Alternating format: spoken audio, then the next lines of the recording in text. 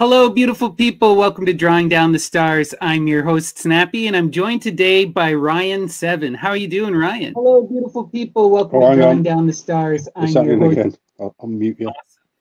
yes, it's going fantastic. Apart from the start of this live stream, which has uh, begun with a, a, a nice lubrication of sweat on my end from trying to get everything together. But we're here now. Yeah, so it's midnight basically where you're at. So you had to be in a different room, and we had a little bit of a technical snafu, but things are good. So, so Yeah, the, um, the camera kept falling over, so I put it on the floor so it can't fall over. Perfect. Wonderful. So, Ryan, you're an occult researcher. You are a podcaster and you do video essays, and you have a wonderful channel here called Ryan7. And you have all of this amazing content. I really enjoyed your kind of deep dives where you're traveling around the UK. You have some pretty well produced videos, some great um, podcasts that you've done with some friends. Love the content. So, what I want to know is how did you get into all of this kind of magical research and whatnot? And uh, you actually found my channel. How did you find my channel first? And you reached out to me. Okay. uh, well, I'll tell, you, I'll tell you what, I'll answer that second. Okay. Um, how did I get into all this? I think you get to a certain age, or if, if you have a certain kind of mind, that you start to question everything that you've been taught and everything you've been fed.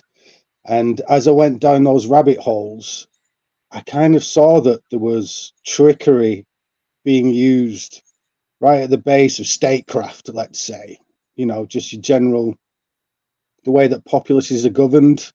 I just saw a magic trickery there. And so I was, what the hell is this thing that they're doing to us? Can I distill all this down to an essence?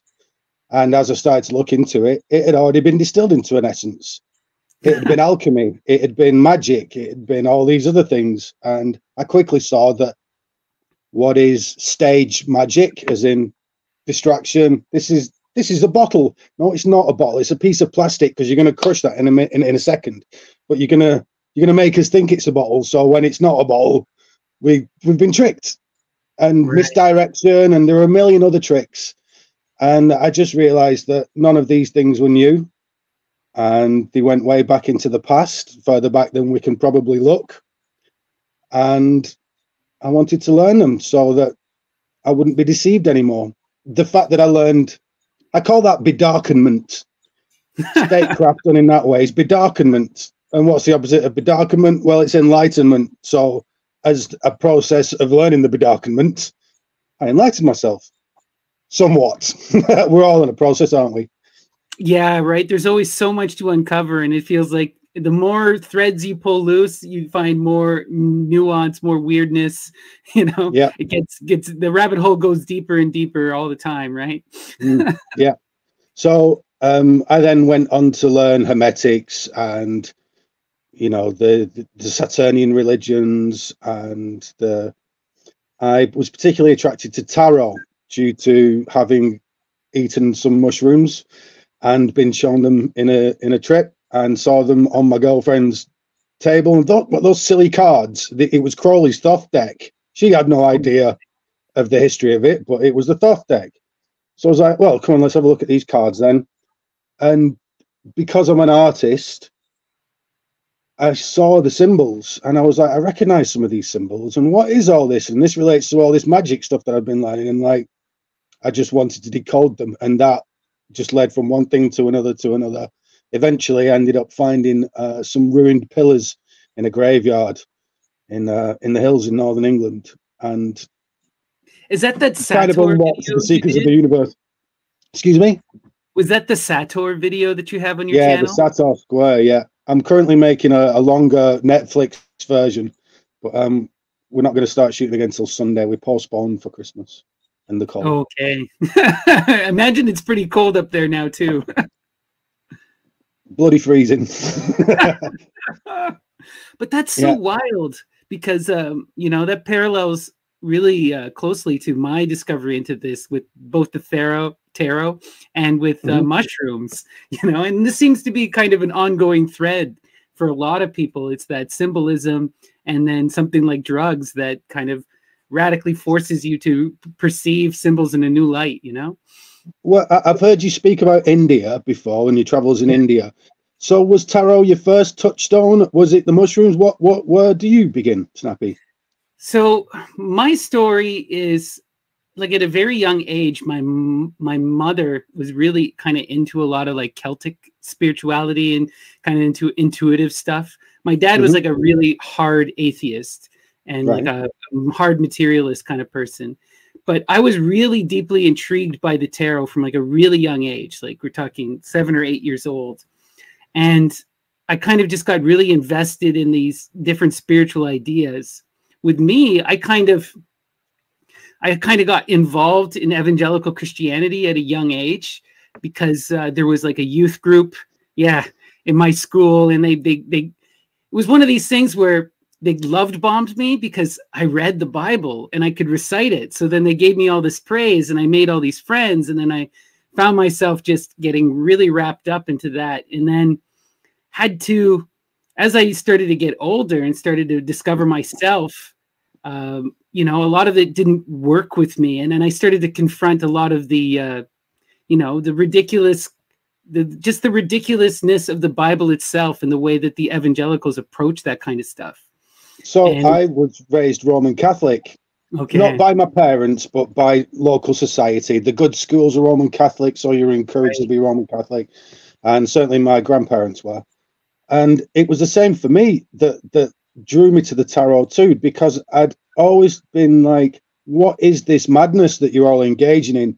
What what is this hypocritical silliness that you're all Adam and Eve and real?" And I'm going home, and David Attenborough's like, "Nah, mate, the it's birds and bees time." You know what I'm saying? And so there was that disconnect while I was there that really helped me to want to understand what the what was going on with religion, what's been going on with it. And obviously Right. there's the esoteric, the the the crowd control aspect of it, the statecraft. no, I totally obviously, get that. The, 'Cause, like, esoteric. I started to recognize a lot of the, you know, being involved in the church community. I f- felt very like immediately uh, that kind of mechanisms of, of control, especially as I started to mature and become like a young adult.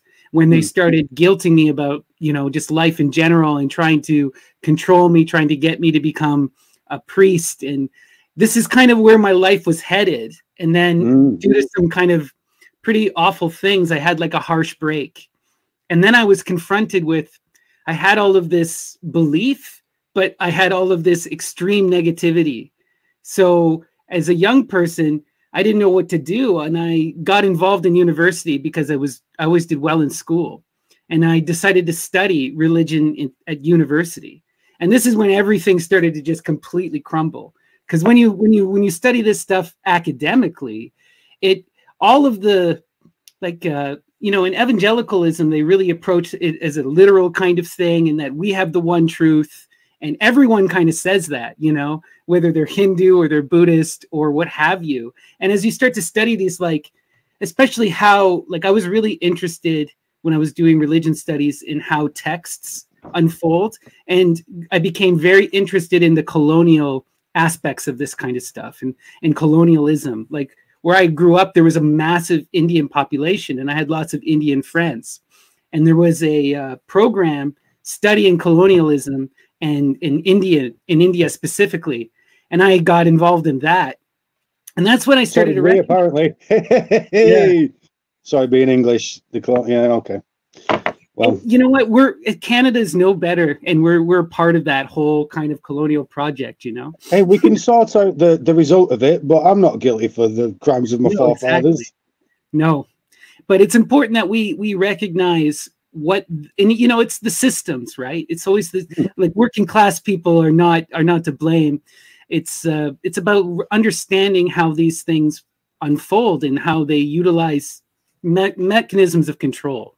You know, Magic. exactly Mm. right and how they you know they wield text as an authority and what i was forced to confront in university is that there is no authority in any of these re- religions right they're only ideas Mhm. and i became really invested in trying to find the truth i went to india and that was such a a slap to the face. I've been to India, yeah. In the most extreme kind of way. Um, like I loved India, don't get me wrong, but love Indians, yeah. perception, you know, I was very young, right? I was like 18 when I went, uh, second year university, you know, mm. and um, I was just, I had this misconception in my head of what India was going to be like. And then it was all like, you know, I had this kind of hippy dippy approach to Hinduism. I thought it was better than what we were doing in the West. And then you get there and there's all these wild gurus and all of this insanity. I remember distinctly mm-hmm. there was this one, I'm studying with this one professor, and they're telling me that there's nothing about drug use in Indian religion at all. And then immediately across the street, I can watch these sadhus just getting wrecked. Yeah. all day long. It's like, so so something is amiss here. You guys are you claiming you have the absolutes answers, but no one really knows what's going on. You know? Yeah, not at all. And I, I think it's it's okay for humans to scramble around for ideas, but just make sure you let everybody know that they're just ideas, because then they right. can be challenged and confronted, and any systems that they provide the foundation of, we can pull them down by pu- pulling out that piece of Jenga, as it were. No, that's not exactly. correct. Oh, it's all out. Well, good. The tower. Right. It's the tower. right. What I started to recognize, yeah, yeah, like it, you're exactly what I started to recognize is that there are no absolute truths and that pursuit of absolute truth in and of itself is kind of a lie right? It's kind so of what you just said though.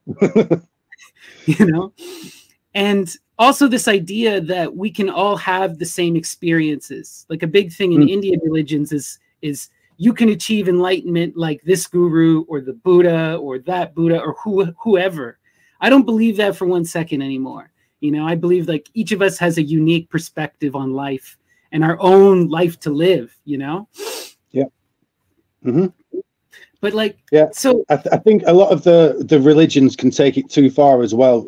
By by necessity a religion is uh an incorporation of ideas like an egregore if you get me. Yeah. And uh, naturally any system like that will have elements of it that want to take it further take it further take it further and you keep going until you get to like extreme asceticism uh, and or you know you know like you're not a part of society anymore you're no good to it you're just living a selfish life now.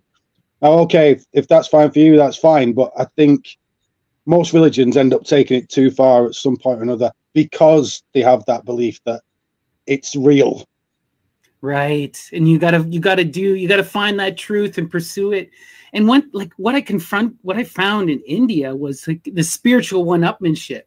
You know, you have those gurus. If like I can bury myself alive, I can stand on one leg until my legs atrophy and rot away, and this is like somehow that, proof that one, I'm in one control. guy with his arm above his head. Have you seen him? Yeah. And his nails oh, are really long, and he's that's it. His arms up there forever. Yeah. No, I saw I saw many of those people. I was fortunate I got to be with one professor who took me to uh, Varanasi in India, which is like the holiest city. And he was studying with some of the more intense, they call them Naga sadhus.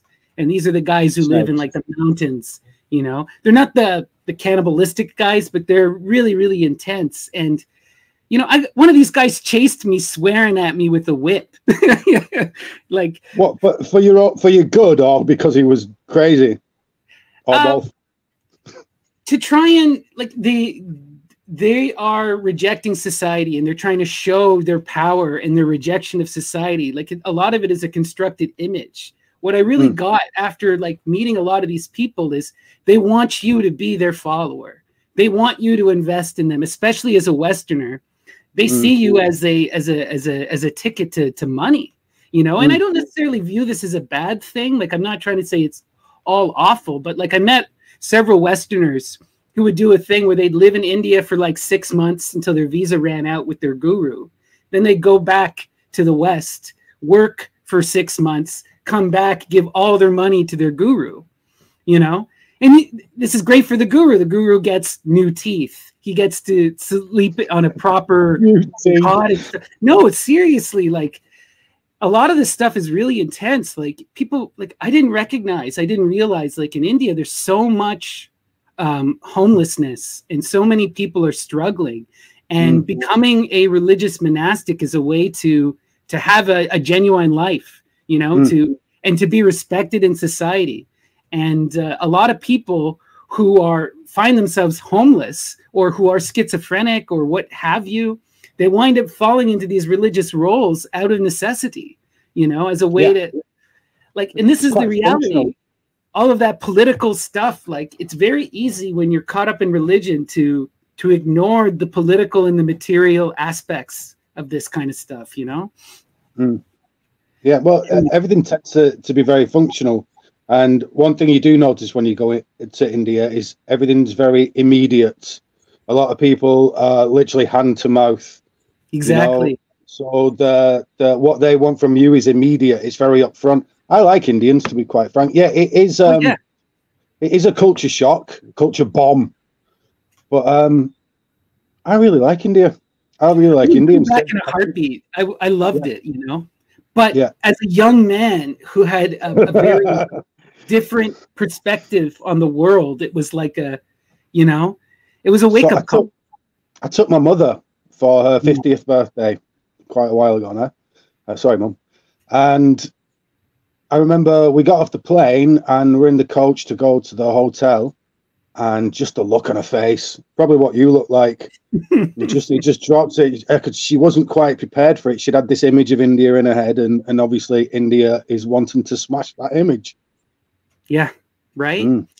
And don't get me wrong, like the people generally were amazing, and yeah. you know once you understand how, like you said, people are living hand, you know, like they need you to give them money, and you start mm. to recognize like how far your money goes, like I remember at first it get so frustrated because people are constantly asking for money, or you go to a restaurant and you get waited on by like 12 waiters, or at my flat, there'd be all these people who are like, you know, just working, doing menial tasks.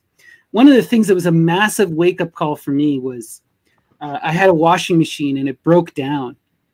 And being like a Western Canadian, it's we have this very do it yourself kind of attitude. So I call the repair guy. They're going to come on Friday. I have a week. So I'm sitting there washing my clothes in my tub by myself. My friend Sarthak comes to visit me and he's looking at me. He's like, What the hell are you doing? And I'm like, I'm, I'm washing my clothes. The washing machine's broke. He's like, You're in India. This is this is offensive to me. And I'm like, What do you mean it's offensive? You're a rich person.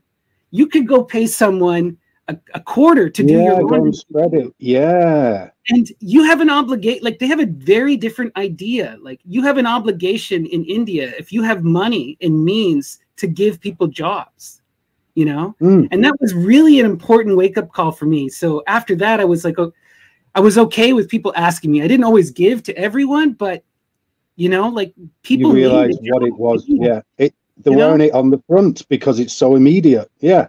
Exactly. So snappy, you've talked about India. What about the mushrooms? yeah, yes. so, you know, I had been, you know, because I was got into religion young and I had kind of got really into this mysticism and I had really kind of removed myself from a lot of that stuff when like a lot of people go through it in their youth, you know.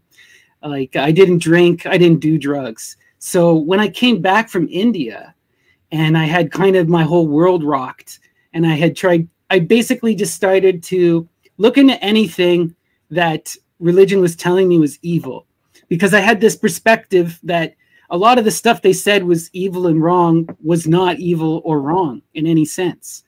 And I had been reading in academia a lot of the work of uh, Dr. Uh, Carl Ruck and oh, yeah. learning about the the prevalence of mushrooms and and you know and i saw all the drug use in india it's it's everywhere and i did smoke Ooh. marijuana when i was there and i had an incredible experience so when i came back i was like okay i got to try more stuff so yeah. And in canada like we have it's it's it's like we had it, like mushrooms are on what's called like the gray market they're not legal but they're not illegal you can't sell them mm. you can't get persecuted if you have them so there are right. all these like weird like stores that had opened up in my town where you can go and like purchase them for cash. You know, so one day I just went and I bought a bunch of mushrooms. And they gave me like I bought 14 grams and then I got like a free 3.5 gram bag. And Cubensis. yeah. like a golden yeah. teacher, just a very basic. And I took the 3.5 and it didn't really do anything to me. And I really wanted to have like a uh, a mystical experience, you know. It just made me kind of wheezy, made me a bit giddy. So the next weekend I was like, F it. I locked myself in my room. I set my setting. You know, I, I went into Five meditation. Five dried grams in total darkness. Right. And I Sorry, did like best time McKenna. I wanted I went I was a bit stupid. I did the whole 14 grams, the whole ounce. yeah. How, how it, are you down? it completely rocked my world. Like uh what ended up happening to me is like the entire world came crashing down. I experienced over the course of eight hours, uh, basically, my body be ripped apart to the infinitesimally small atoms. It became one with the universe, and then with a wave, all crashed back into one being. And this mm. this whole experience synced up to my breathing in and out, and it went on for like eight hours straight, like crash, wave after wave after wave, and nothing I could do, and no one I could call because I didn't tell anyone but totally blew my mind open to things. And after that, I was just like, okay, there's something to a lot of this mysticism. and, uh, you know, my meditation, everything was just worked a lot more easier after that. Mm. You know, I was able to, like, I could, I had been meditating for a long time and I would have some success, but after the mushrooms, I had like intense success. I started to be mm. able to you know, get into these states of like out of body experience. And I started to recollect my dreams more. And it just led me down this whole kind of mystical kind of pursuit. But my mysticism, I couch it in hard materialism. So uh, I don't believe like that there's anything greater than the material world that we experience, but the material world is far more deep than we give it credit for at the same time. You know what I mean? I'm on exactly the same page. Yeah. It's like uh, a non-materialistic materialism. Exactly. Right? You just don't know how far down the rabbit. I, th- I think it's safest to say it's very interesting, but we've got no idea. Not really. We can see glimpses of it, but you've got to be happy with the mystery of it. Right. Yeah. And I started so, to recognize. Go ahead, sorry. No, I was I'm going to tell you about my mushroom experience, but if there's more yeah, to be yeah. told, Snappy, go for it. Oh no, uh, t- you, you go ahead. I want to. I'm excited to hear your trip. Okay, so I had been, I'd I'd always had a mystical bent when I was a child, and often had out of body experiences, but thought nothing of it. Um, I'd always been in touch with kind of the psychic knowing gnosis thing, but didn't pay too much creed. Mm-hmm. Um, became a bit more scientific, studied physics, loved science. And then I was a musician. So I would, I'd, it's just strange coincidence. I'd been putting together mixes and I wanted somebody saying something profound. And I'd searched through the internet, found this guy that talked weird, Terence McKenna, and just put him saying something philosophical on this mix. Then about two weeks later, I was thinking about how, from a physics point of view, how sound seems to underlie the universe. And I had a very deep, I'd, I would say, mystical feeling about it now. Back then, I didn't know. And um, I just so happened to then encounter Terence McKenna talking about how the shamans on ayahuasca can see the Icaros that they sing. So I thought, oh, this is interesting. Why not why not indulge? Why not have a little try and, and see if I can somehow get an edge in on this idea that I have that the universe is kind of constructed with sound. So I, I, couldn't get ayahuasca. What I could get was mushrooms because I live in one of the best places in the entirety of Europe to go and find them. They were literally on the hills behind the house that I was in when I had the thought. So I went out, picked them, uh, psilocybe semilanceata with Liberty caps and the Phrygian cap, as we would know. And um, when my nan had recently passed away, so I went down to her empty house and lied on her kitchen floor. Oh, I, I forgot to add one thing. I'd recently been very ill with what turned out to be uh, cannabinoid hyperemesis. I'm one of few people that get bad withdrawal from the Asterion, as you guys would oh, know it. Yeah. Yeah. And it was awful. And I hadn't eaten in about two months. My Oh wow. Yeah.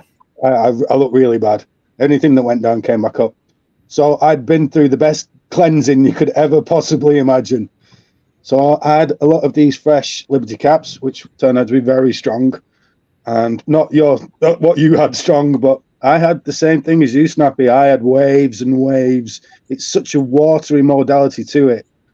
Um, I remember a female voice coming to me right at the beginning, saying, uh, "Sit down, relax."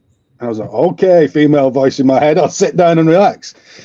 And then I'm rolling doobies to to like kind of because I'd never met anyone that had taken such a large amount. This is you know 15 years ago, mm-hmm. um, and so I was nervous. And I'm like you, I'd not told anybody. I was on my own, so I'm rolling doobies just to pass the time. And I noticed that my hands were turning purple, and that the the room was now made up of matrix cubicles, and that when I looked at my hands, I looked like the Emperor from Star Wars, and I'm like, oh.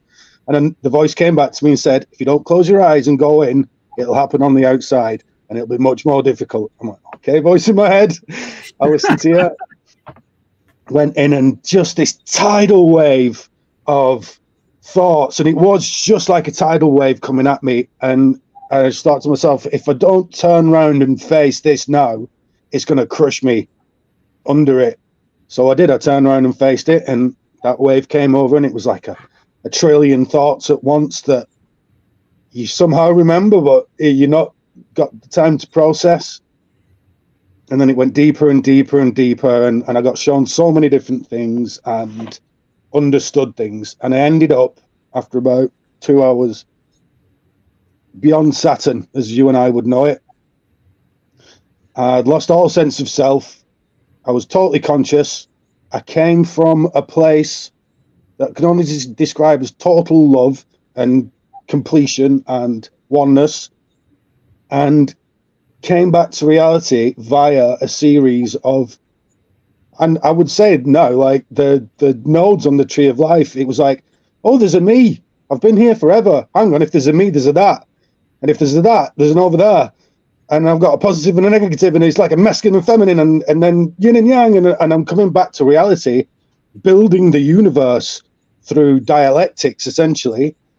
And then as I was coming back, as I'm literally getting up off the floor, I was shown Jesus, Buddha, you know, all these um, Viracocha, dudes I didn't even know the names of, but I was like, whoa, these man deities, like these man gods. I'm like, whoa, and I snapped out of it, like I've just had the religious experience. Like this, me, an anti-believer, can't stand religion. Really, very interesting, but it's a bit yeah, dodgy, isn't system it? System of control, yeah. yeah, not for yeah. you. yeah, um, and and I stood up. I was, oh, just had the religious experience. That was profoundly beautiful. And I've turned around, and in front of me, in the middle of the room, is a perfect geometrical representation of, well, the the male voice now that told me it was Solomon's temple and I've got to build it. I didn't know anything about the Masons myth or anything like that. It, it looked like a series of pyramids mixed between like Egypt and the Aztec kind of thing. And it's all lines, you know, like a, a wireframe computer model. And it's spinning perfectly in the room. I've turned away and gone, oh my fucking, so excuse me, oh my flipping heck, I've had too much this time. And then I turned back and it, and it had moved the exact amount that it would move if it was real. And then, yeah, and then essentially what sounded like God's voice said, uh, It's Solomon's temple, you're going to have to build that. I'm like, okay. And then I picked up the phone and talked to my friend because it was just too much for me to handle at that point. So, yeah. And then, as I'd said before, that changed me entirely. I'd, I'd had the predilection for all this stuff, Snappy, but that'll do it to you. right. No, when you're confronted with yeah, seeing the Temple of Solomon and seeing man gods, like wow, shattered yeah. your reality, right? And yeah. have your your preconceptions. Like that's that's powerful stuff. But I so relate, you know, I'm also a musician. And after I had come back from India, I kind of quit religion studies and go, dove into being a musician for a long time, and was heavily involved in kind of like, you know, I had basically kind of abandoned a lot of religious studies in general for a long time, but this stuff kept coming back, kept coming back, and um, I tried to like live a more regular life, but uh, it just, you know, it wasn't it wasn't yeah. happening for me. Um, I wound up eventually I wound up founding this more kind of Saturnian kind of magic and getting really interested because I always had this, or after I got back from India, I had this strong idea of pursuing a lot of this more negative stuff or stuff that I was against, you know, like pagan ideas um, and like mysticism and just diving into a lot of that. And at one point, I did another mushroom trip, and it's kind of very similar to yours, but this time, I uh, I wound up I just I basically I met like now if I was going to use mythological terms, I wound up meeting Dionysus, and cool. uh, or I became Dionysus. It's I basically I found I'm sitting on my bed, kind of in meditating, and then the bed becomes the blackness of space, and I'm floating in space. And then I find myself as the, the divine hermaphrodite at the beginning of time. And I'm stuck there for an infinity, like yep. alone, yep. alone. And I'm just so angry about being alone. I eventually rip myself apart into two. I, I was bored. Snappy. You said you were angry. I, I got bored. I was like, it's beautiful here. It's a bit boring though. I want to do something. So it's interesting that you can still be yourself while you're there. That that your right. personality somehow reaches through even beyond your own ego, because that's already gone. Yeah, it's Mostly. so interesting. No, it's it's mm. it's wild to think about, you know. So I wound up splitting myself in two, into like a male and a female. And then I started having an argument with myself over who was going to be the bottom. because we I'm gonna fuck myself. Well, you know, and it's just like infinite fight between these two sides of, of myself going on. And then eventually that broke down, and I wound up meeting Dionysus, and he's laughing at me, and he tells me that I'm, I'm like, so what's the point of it all? And he just starts laughing. He says it's all a joke. I'm like, what do you mean it's all a joke? And he goes, you got to find the passwords.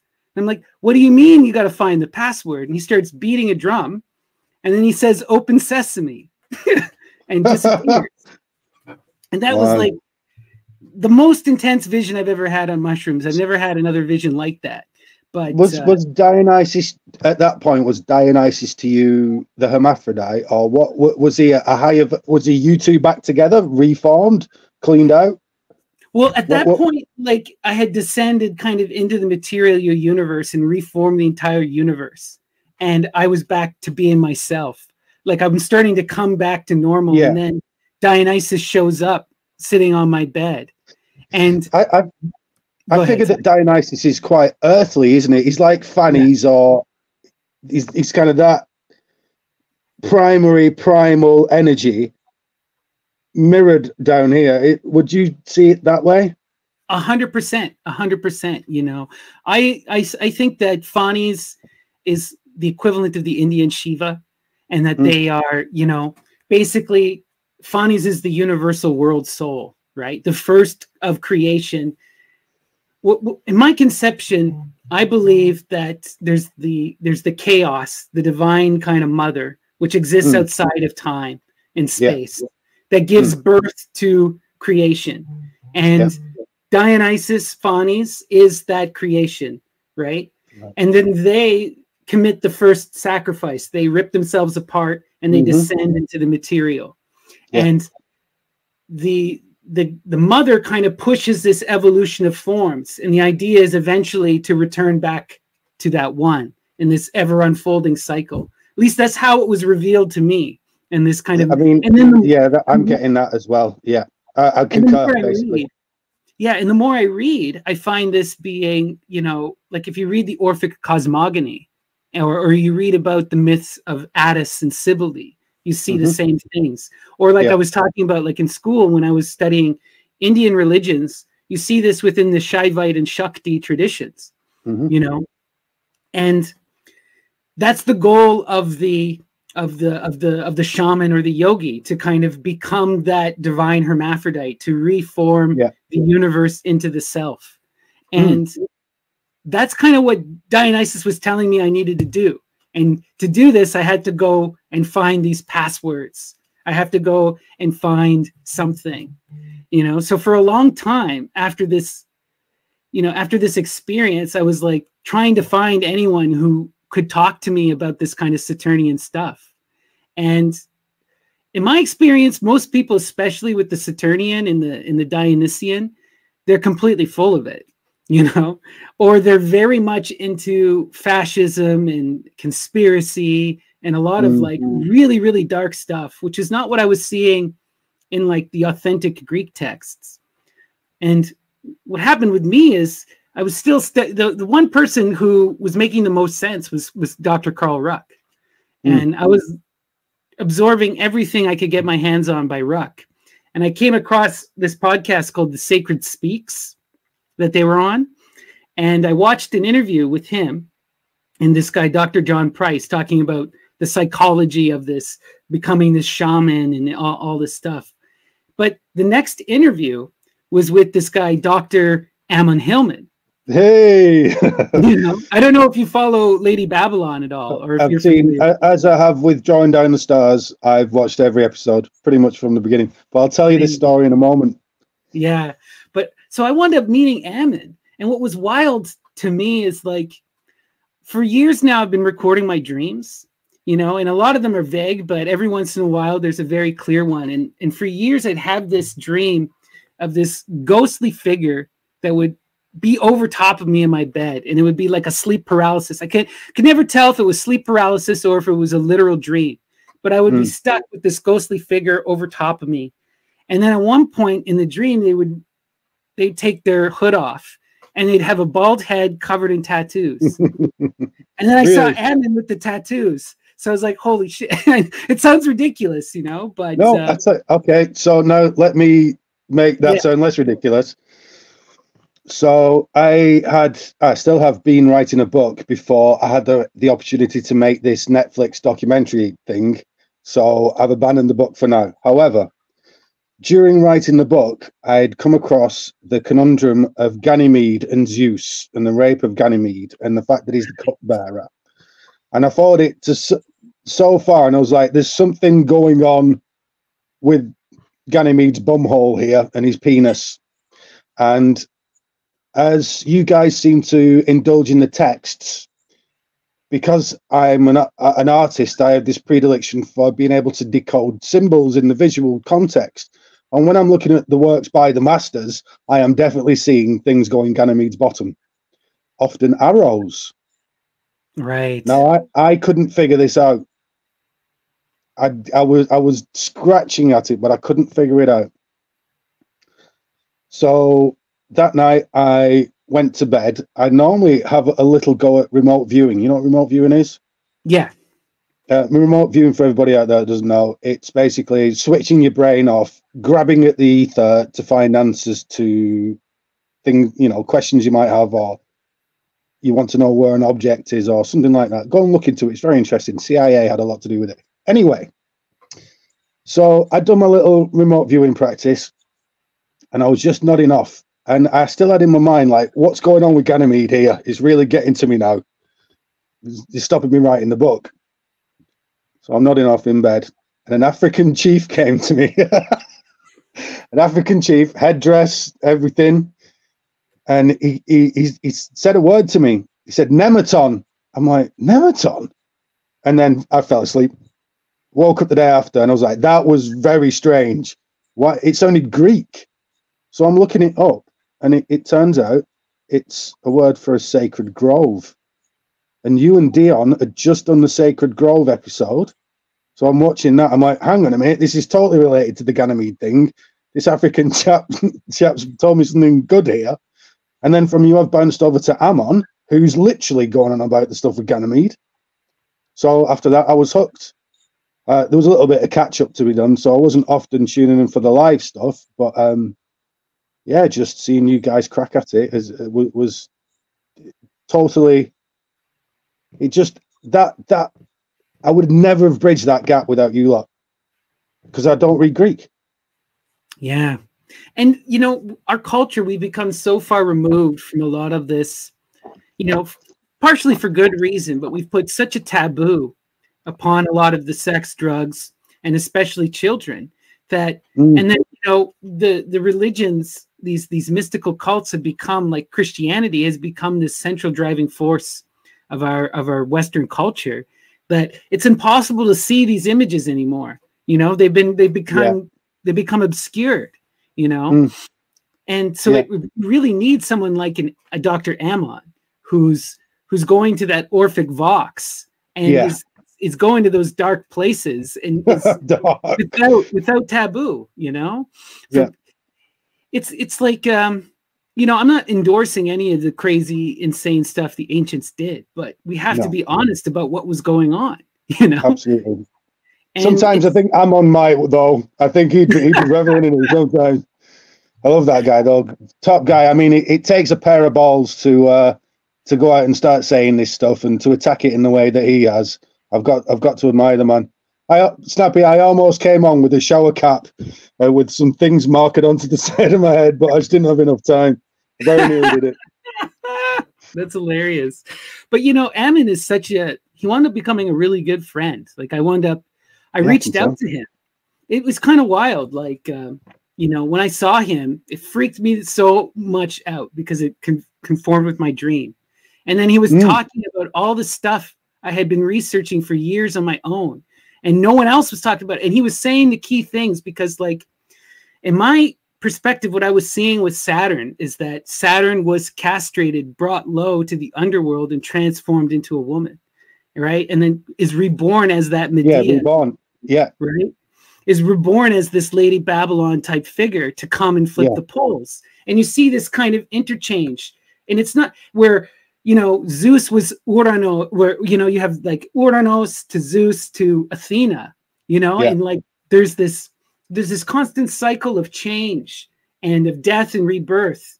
Mm. And and there's this connection between the male and the female. So many people, when they were talking about Saturn, were reducing it to this angry old masculine, you know, mm. and only that. I'm not saying that that isn't there, that's clearly there. But yeah. I don't think that's the totality. That's not the totality of that image. Not in the Greek conception. Not in in the real conception. I mean, I, th- I think because these are a metaphysic, that you just need to consider it to reveal what it's about. And no, it's not just about limitation. Is what you're talking about, essentially, isn't it?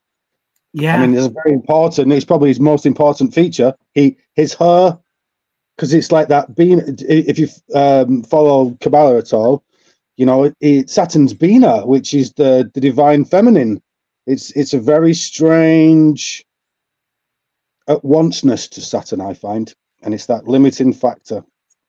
Right? And i in my in my mystical approach like i'm a percussionist and i got re- i'm really into drumming and i would have these out of body experiences while drumming entering into these flow states.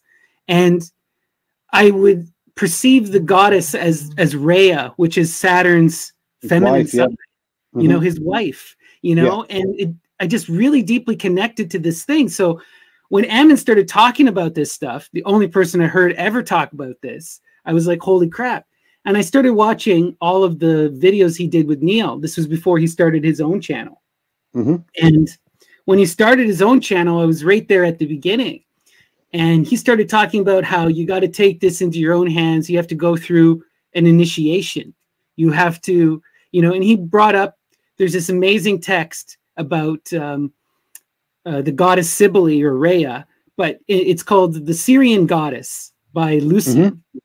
And yep. he talks about going to Babylon and seeing what he calls the Byblian Aphrodite, but we would know her as as Cybele or as Astarte. And he talks about how all of the people, if you wanted to be initiated into this rite, you have to go through this mourning for the death of Adonis. Mm. And he would talk, he would equate Adonis, Ammon, with with Zeus, and talk about the the prophecies of the uh, Sibylline oracles. So all of these things are lining up for me. Like I was into Cybele and Rhea, and he's talking about, you know, just mm. started to blow my mind. And then I was like, okay, I'm gonna, I gotta shave my head. I gotta dive right in, you know. So I shaved my head, and then I reached out to Ammon and I talked to him about how my research years ago into Shiva I had discovered, like in my perspective, that Shiva and Dionysus were the same person. Yeah, same thing. Yeah. And when I showed him the research I had done, he was just like, "Holy crap!" And he invited me, like unprompted, onto his street, and uh, we just become really good friends after that. And I just Sweet. started messaging him and asking him all this kind of stuff, and uh, you know, and he's just been he's an interesting guy. He's he's not like a guru in any means. All he does is he'll feed me texts. I'll ask him a question and he'll be like, "Oh, read this." I, th- I, think I think he's a little guru-like in that he loves the trickster way yes. of teaching. No, I, I I I love that. So to. I'm although it, it can be Lady Babylon can be a bit of a slog to get through. Yeah, it's intense. You know what I mean? Yeah, and, uh, although know, during that, I, I've learned to read Greek. Oh wow! I can't. I don't know what the words mean, but I've you know I can read it now. You're picking it up, you know. Yeah. Yeah. I started to study a bit of the Greek with Ammon, and I intend to wind up in the future. He's getting his academy going right now called Omnia. Can you tell me about that? I've I've, I've kind of missed. I, saw that last episode when you talk you're talking. I forgot what he's called, but um, what what's what's what's going on with all that? So the whole, you know, Ammon, he's very he doesn't tell anyone anything 100% what's going on. So I can only talk to you about the stuff that he's revealed to me and yeah. I'm talking with like 10% knowledge yeah. here, you know, and what his uh what Chewy has told me about.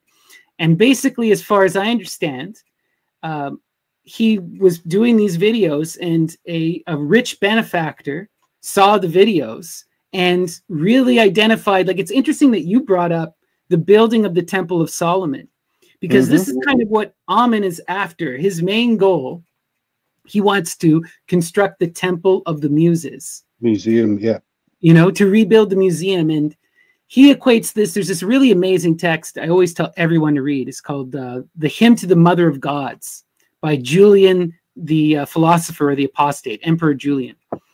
And um, this text, yeah, it re it retells two stories at the same time, or a bunch of different stories, but he talks about the fall of these cyclical falls of empires. So he talks about the fall of the Greek Empire of Alexander and the destruction of Athens. And he brings up, Julian, how the uh, oracle at Delphi said, if you persecute the Maenads, the followers of Dionysus, if you persecute the transgendered followers of the god Attis in Cybele, your society is going to be destroyed. And if you go after the women, you're going to be destroyed. And the Athenians, they do that.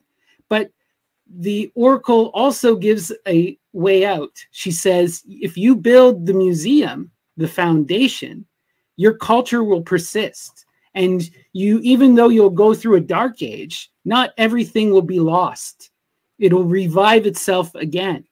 So he tells about the destruction of Athens, but then he talks about how hundreds of years later, the Romans decide that they need to go to the oracle at Delphi because they're at war with Carthage and they're losing.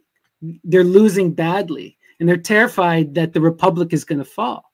And the oracle at Delphi, she tells them, you need to build the museum. And to do this, you need to go to Syria and you need to take the eidolon, the idol of Cybele, bring it to Rome and install it at the um, the Saturnine Hill, you know, and um, they do that. They go to Pergamum in Turkey, sorry, not Syria, in Turkey. They get the they get the idol, they bring it back, and he tells all this mystical story about them bringing back the idol and installing it. And then this is where the entire kind of Roman Empire starts, basically. Once they bring the idol, Julian mm-hmm. equates it to the golden age of Rome. And uh, they adopt Greek religion and Greek culture even more fully than they ever had. Yeah. And he kind of sees this as this this necessity. And then he all and he also talks about like this the metaphysical story of Attis and Cybele, which is Attis is is this masculine god who um, is kind of bound down to the earth. They're engaged in like really frivolous sexual behavior with the nymphs, and they're they're hating their life. And the goddess reveals herself to him and says, "Climb the holy mountain, right, mm. and give up this this love of of the material, basically the nymphs." So Attis castrates themselves and engages in this form of divine imitation, takes up the drum, and through the music of the drum and through this divine imitation, is able to become Cybele. Is that you know, your password, Snappy? Was the drum your password? The shaman's horse. Exactly. Yes, beautiful. All connects, right? Just freaking really wild. Does. Yeah, and do you find the drum really works for you? Really works for me, and you know, I kept seeing myself in these stories that Ammon was feeding me, and he kind of knew where I was coming from at that time, and it it just blew my mind, and I recognized that what I needed to do, and I've started to go down this mystical path. But this whole story of building the museum, it, mm. to me, it really connects with our cycles here because we can see the same. So Julian warns about the Christians. He warns that the Christians are doing the same thing that the Athenians did they're persecuting the women and the the trans followers of Cybele. They're vilifying these these people, and if they do that, that Rome is going to be destroyed. So he engages in this war against the Christians, and uh, he ultimately dies for it, um, Emperor Julian. And if we look at the history, it, it, it all plays out, right? Rome winds up falling. It enters into a dark age, you know, and we get this extreme um, stagnation of the Catholic Church in the in the Byzantine Church, you know? And how does that end? It ends when the Greek culture comes back in, yes, the, Renaissance. in the Renaissance. Yeah. And, and tarot pops up at that time.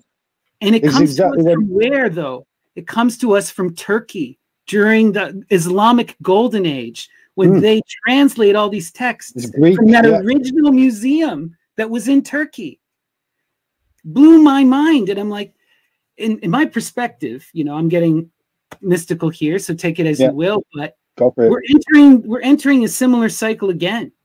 You know, we're seeing the powers that be persecute trans and queer people and women again. We're seeing the rise of this ultra strict Christianity, you know, and we're also though at the same time seeing this through the internet a renaissance of the Greek you know mm. so i believe that we're entering into this this time again of this flipping of the poles of destruction and rebirth so you know? to go um mystical and that we are entering entering into the age of aquarius and that aquarius is kind of the gay trans you know hermaphrodite of the zodiac if there were to be any.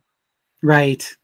Do you ever feel i i often think well it, perhaps these big large zodiacal ideas of cycles are actually true. It does feel like if you look at the past history very piscean very i believe i don't believe we're going into kind of an i i know era and the you know the the as you were saying the the, the differences between all the genders that's being all brought up again and everything's going a bit crazy with it it does feel like we're entering into like the uh, that that kind of to stay astrological. There's that kind of Mars power powering this sudden burst into the beginning of Aquarius that takes that that um that bit of energy it takes to get the car started, for example. You know, it's a sudden burst of of high frequency energy before everything then settles down again into a new modality. And I, I wonder if you have a take on that because I certainly I feel that way.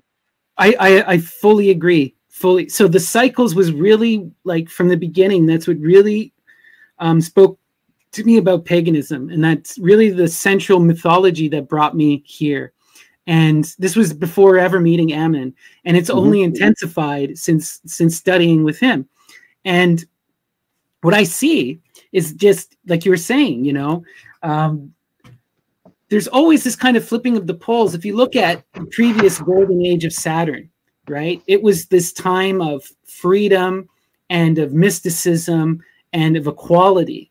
And, and laziness, Snappy. We're all lazy. No one did anything. what it was, it was a like, you know, I I mean, I have a very romantic view of the Bronze Age, you know, so take that as it is. But I look at a lot of the, the those indigenous cultures and I see a lot of beauty, a lot of profound creativity mm. there. It's not technological, but they have this incredible mysticism and connection to the dream world, to the dream time, to the natural flow. In my perspective, it was kind of a golden age because people were free to be themselves, you know, but at the same time, there was all of this death and, and, and pain. Yeah, and nature. Yeah, you know, na- nature's still there. Nature's bloody in tooth and claw, waiting at your door every day. Hence, Christmas. You know, where you live, it's cold. Where I live, it's cold. And there's a there's a very good reason why we celebrate Christmas because it's really cold. Grandma just died. We're all very lucky to have survived all this. Let's celebrate the return of the sun. Yeah, but you know, so I saw that that kind of cycle running its course with Saturn. And mm. I believe like the Saturnian element turned kind of corrosive. It didn't want to grow. It didn't want to transform. You know, society stopped transforming. So then there had to be kind of an apocalyptic upset. And this is what we call like the death of Saturn, where Saturn is castrated, brought low, and transformed. And then we enter into the era of Zeus, which is this patriarchal era. And it's hmm. it's it's you know it's it's hard for for me especially looking at where we're at now to see the goodness of this but it's brought all this incredible technological advancement it's brought this incredible like we can talk right it's yeah. it's trans and i believe like this was a necessary evolutionary form but what we're starting to see now with this patriarchal form is that you know if we look at this idea of consuming the children that we see with saturn you're seeing mm-hmm. the same thing happen now with this patriarchal god that's yeah. destroying any other type of idea. Because he's corrupt, because he's selfish, because he wants to be the sole god. If we're talking right. Saturn, well, if you're talking Zeus, it's Zeus. the same thing, right? Yeah. Well, it's, it's it's running the same course. It's that that Every force time, yeah. now. Like um, Nietzsche is a really good person to understand this because he talks about you have the Apollonian and the Dionysian, Dionysian and the Saturnian.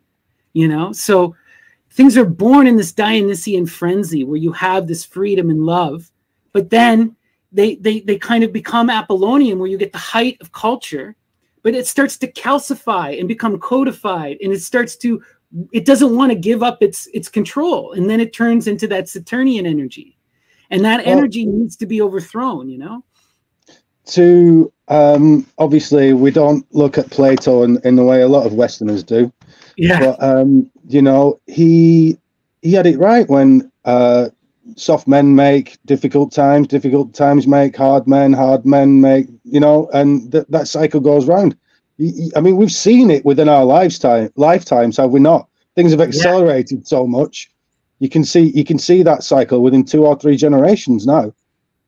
Right, and you know, this is something that I, I, I mean, a lot of people get scared about, but I see us entering into another type of apocalypse moment where yeah.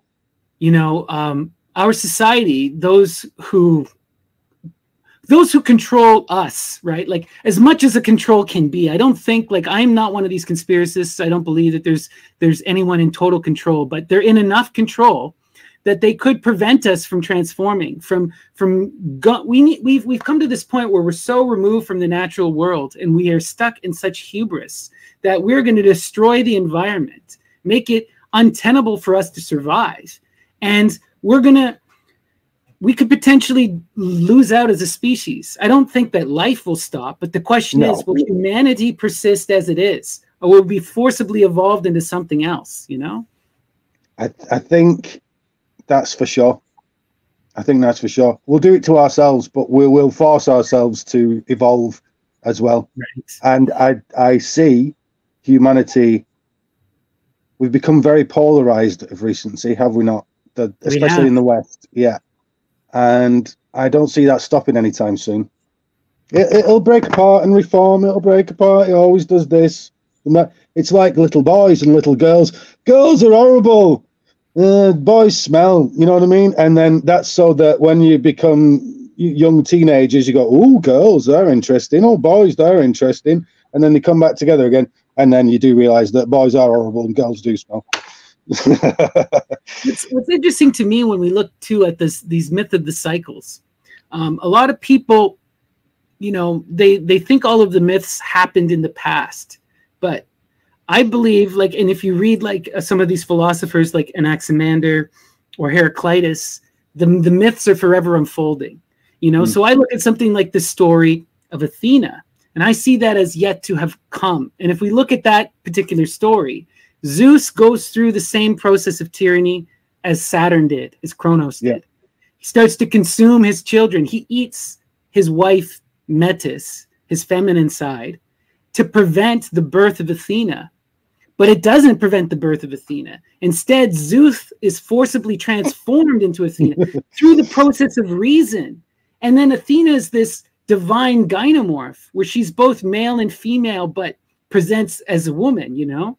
And I see that's I, where our society is going. We have to transform ourselves through this faculty of reason and unite the male and the female. Yes. I'd like to point to a symbology there in that axe. Now, a lot of the time when I'm coming around axe symbology, it's pole star stuff. Right. They're pointing at the pole. And a lot of mysticism, included in the tarot, as I believe, well, as I've discovered, they're, they're obsessed with the two poles, like the uh, world universe card.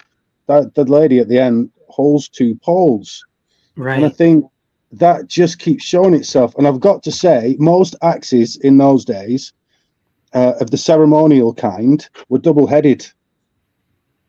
So I see a mushroom in that, a mushroom in the pole. Also, with um, we were talking about you, the castration of, of Uranus and, and, Saturn and everybody else.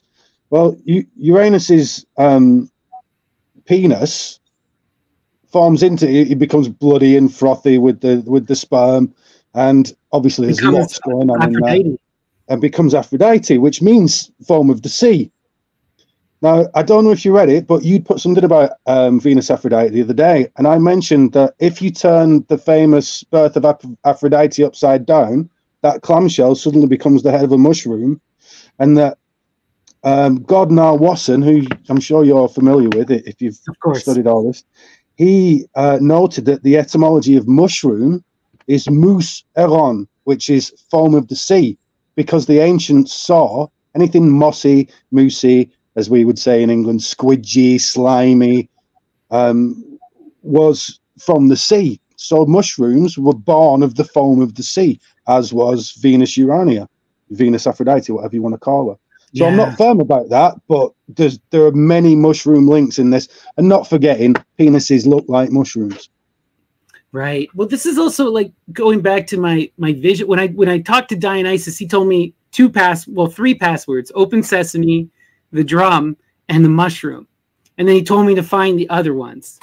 But you know, so I think like the mushrooms, the drugs are a key to being able to perceive things outside of time, to see the symbols yeah. for what they are. The mm-hmm. mushrooms mm-hmm. are kind of like this divine communication.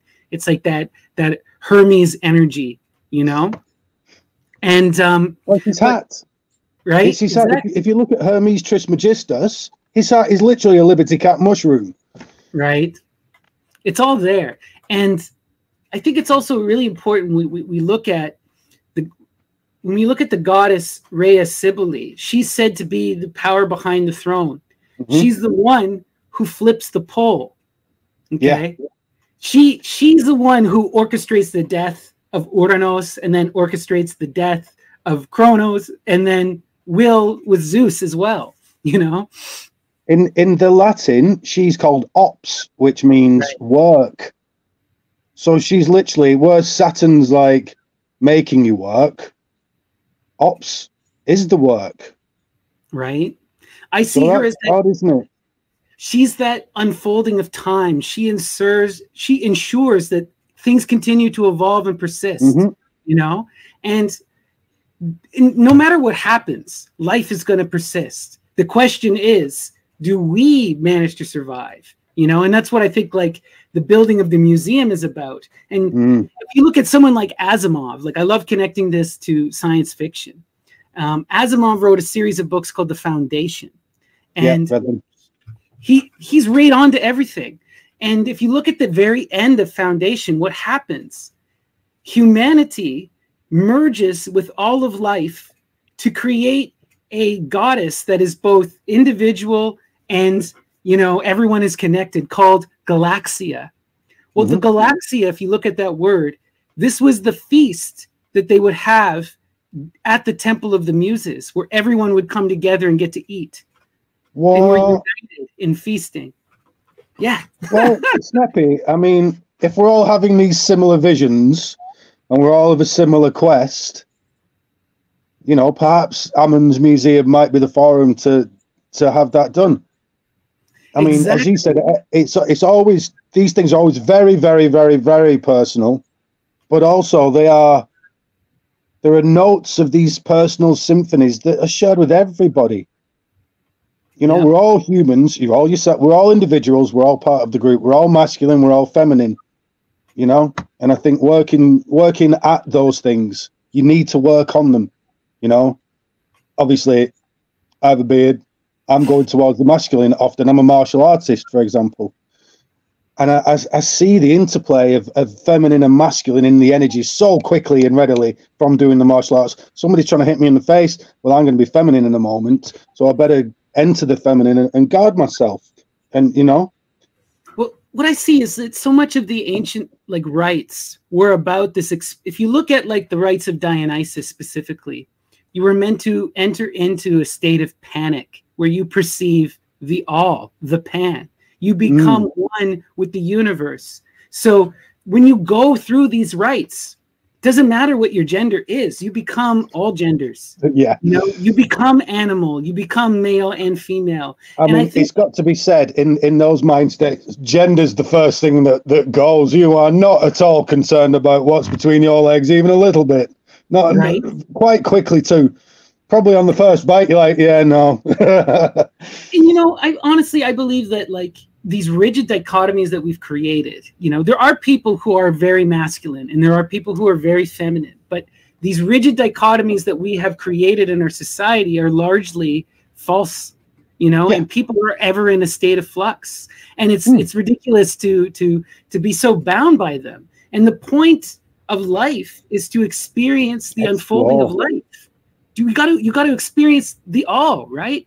And i don't just mean gender i mean also the animal the plant the material right and something like the the rituals magic and drugs can allow you to engage with that where like you don't have to be trans you can you can do it by proxy you know you don't you don't have to go through a physical transformation you can do you it in your mind hunt down the metaphysical feminine and engage with it. That's it. Right. It might be spending as a man. It might be spending more time with your mother. Yeah, it might be simple as that. You know, I'm an artist. I'm. I mean, I'm, I'm. I have quite a masculine bent, but I'm also a dancer, an artist, a musician. You know, exactly. big girls blow sometimes. well, we all have to learn to to communicate and understand and experience the other and the perceiving of the other transforms you, right? Like something that Ammon talks about a lot that really hit with me is this idea of monism. This absolute monism is a is is a problem. When you reduce everything to a masculine singularity and mm. everything mm. is an absolute, an individual truth, you get rid of all of communication and you force people to conform and to reduce themselves to an ideal, an unachievable ideal I think know? that was no, don't you? I think that I think that the yeah. you know these patriarchal religions went. Hmm, if we get rid of the feminine, get get take those Asherah poles down, and uh, and we can take over more easily because we've got rid of the chaos element, and all we have left is the the order. Look, and it's also I, about I politics and power. Sorry, oh, I was just gonna say it's also about politics and power. You know, when you take young men and you reduce them into this absolute strict authority and you you wind them up you deny them sex and drugs you can then sick them on other people if we mm-hmm. look at what happens what like if we look at the history of christianity what happens when it becomes incorporated and becomes an official roman religion? It gets weaponized as a tool for genocide and colonialism. Yeah. You know? And they use it to just destroy and to take and to power those people at the top. And that's largely what religion has become, which is so depressing because these rites that are at the heart of these of these cults, which inspired them initially, were about this experience of the other, about this embracing of life, this affirmation of, of the world. And we've turned it into this death cult, which is like terrified. You know, one thing I always like to focus on is if we listen, like when I was in evangelical Christianity, the goal that was to bring about heaven on earth, an absolute hierarchy where God exists as a physical being, Jesus, and rules over everyone. And all we do is worship and praise for all eternity in an unchanging stagnation. Like when you really think about that, that is as evil and as horrible as it could possibly get. That is my definition of hell, you know? Yeah. I, I must say though, to just to counteract that slightly, Snappy, mm um, you know, as I see it, religion would have been at one point camp. I'll, I'll call it just just to be parochial, uh, campfire shamanism. You know, the early tribes. You, would have your one guy that through these same rites that we're talking about, uh, although unformed at the time, would have given him insight or her insight into things that the rest of the tribe don't know. Maybe they're just naturally more intelligent. Maybe they are starting to put calendars together. So now maybe when they are manipulating the the tribe, they they would use those calendars. You know, like uh, I've said in one video, um, maybe it's not. Oh, it's your birthday day today, or it's the son's birthday day today. Where it, we're changing it slightly. It's uh, everybody kill the current chief day and make me chief day. You know, through these subtle manipulations. So I think I think you know, look, we've always been corrupt. We've always been corruptible. It's always been very difficult to to stamp on that dragon that is our yeah. hormones that drives us around. So I don't I don't think the corruption in in religion today is anything new. I I, I mean, how many stories of dark shamans do you hear that, are, you know, using that same religious corruption? I don't mean to say that it's new, but it is um, empowered by the state you know, yeah, and by cultural apparatus, right? Whereas yeah. like in an ancient tribal society, you know, if if people started trying to control you, uh, a strong man and a strong woman just take the fuck off. Go yeah. start their own community. Now you're swearing, Snappy. What yeah, I told you about the YouTube algorithm? Right. Yeah, got to be careful. But you know what? Like you hear all these stories where people could just, you know, they could leave. They could go and, yeah. and create their own communities. They, you know, people weren't bound in the same way, but through technology and through community. Like there's a lot of good, but there's also a lot of negativity. I, I, I think there's a lot. A lot more. Uh, I think there's a lot more opportunity for that statecraft and that magic that I was talking about right yeah. at the beginning. That you know, with society's got so large that everything's a confusion. With there's, there's so much in with the, we got too much information now. We don't know where to pick it from. We don't know who to trust all, all the old sources, if they weren't corrupt before, are certainly corrupt now. You know, and you've got no, to go and find out yourself. And it, you know, as you know, look, just studying this stuff, I know I'll, I'll be studying it for the rest of my life and still not know a third of what is out there to know. And for any individual person to, to have to try and fathom what the hell's going on while raising children, keeping a job, keeping society, it's not going to happen. So I, I think as technology's increased, we've put ourselves more at risk. Hey, look, it's it's Lucifer with his with his apple there, isn't it? Look, you can take the apple, and your eyes will be opened, but there are consequences to pay for it. You know, right? You lose that security. You know, there's something to be said, right? The the golden know, age of Saturn ends. Sorry to interject, but the golden age of Saturn then ends. Yeah, yeah. You know, you you you're no longer a part of nature. You're removed from nature. You can't have that equality. You now are, you know, and also I think like so much of our society is based upon fear and our society is designed to institute and to, and to control right? Like people are always on the seat of bankruptcy and you have to work constantly just to pay your rent. And it's like this is where 99% of people are at. It's it's i can't blame them when they freak out. And then they're fed garbage by people who are who are basically empowered for this sole point of making them more angry. And but it, it sounds to me like they're using Saturnian magic, though. You know, food, your limitations, your you sl- even like your sleep, your fear, you know, all these things that are related to Saturn are being used against you through Yeah. Mercury. Well, we got to remember, right? Saturn has been castrated and brought low. He's no longer the ruler of the earth.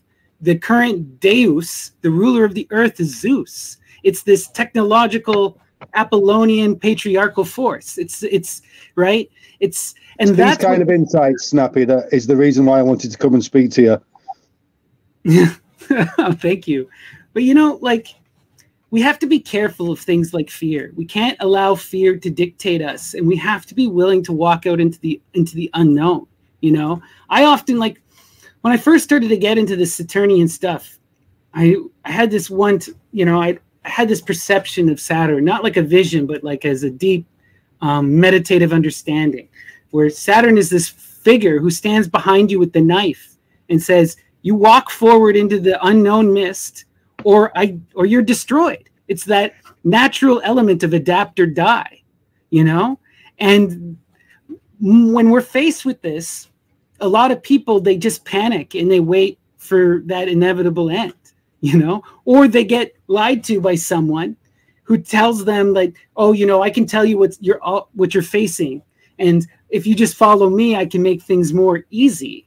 But does this not make you think, though, that the point in life is therefore growing a soul?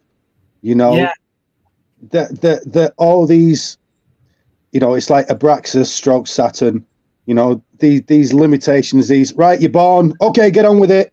You're gonna get a flu by the end of this year. You'll have a disease that makes your arm fall off. You'll fall in love twice, but uh, you know they'll end, end horribly. And you've just you've got to do it. I don't want to breathe today. No, you've got to breathe today Yeah, and see see what happens if you don't. And and it's this it's that whip by which Abraxas drives us all. You must do this because you're alive. I Yep. can't be bothered digesting food today. Yeah, try that. See how far it gets you. You have know? to be constantly in that. You know, only thing that is truly real is the flux. It's that transformative power, and you have to embrace this change and be constantly challenging and adapting yourself, ever learning, ever going forward, and you got to embrace the uncertainty. This is something that a lot of people, you know, we're, we're, we're faced with the absurdity of life. The fact that we in our current state cannot fully comprehend the truth. And you and I, we go, I admit it, I'm never going to know, but I'm going to try to know as much as I can. But a Mm. lot of people, rather than admit the absurdity of life, the fact that they can't fully grasp it, they they fall for a lie or they they cling on to something. They they they lie to themselves rather They get than very serious, Snappy. They, they get very serious. That's what they do. They take it all very, very seriously. Right. They And, stop laughing. Yeah, and and I just think to myself, you do, you do. Re- I know that you're scared like that because you're fearing death ultimately, but you know you're gonna die, don't you? You know that doesn't matter what you do, you will die. So it's the whole thing's absurd. Have fun with it, love, try and create things, and grow your soul. Yeah. Right. That's. I mean, when, when we get to the deep philosophy, all of the philo- all of the really truly great philosophers, that's what they tell you. You know, you got to learn to just laugh, laugh at the absurdity of life, and continue, continue. Just embrace it and embrace death. You know, it's going to Yeah. come. Yeah. But even our science, everything reveals to us that nothing is created nor destroyed. We've always existed. We always Mm. will exist. You know, just because we can't remember what we were before we were living doesn't mean that we weren't there. And that doesn't mean like we, we can't right now fully imagine what we'll be after we die. That doesn't mean we won't be. We always are, you know? It, we are it. Yeah. How can we be separated from it? This. So when we're gone, we'll still be it. We'll just be different. Probably. Maybe. I don't know. So We I don't know. my hair's a bit of a mess, so let me do it.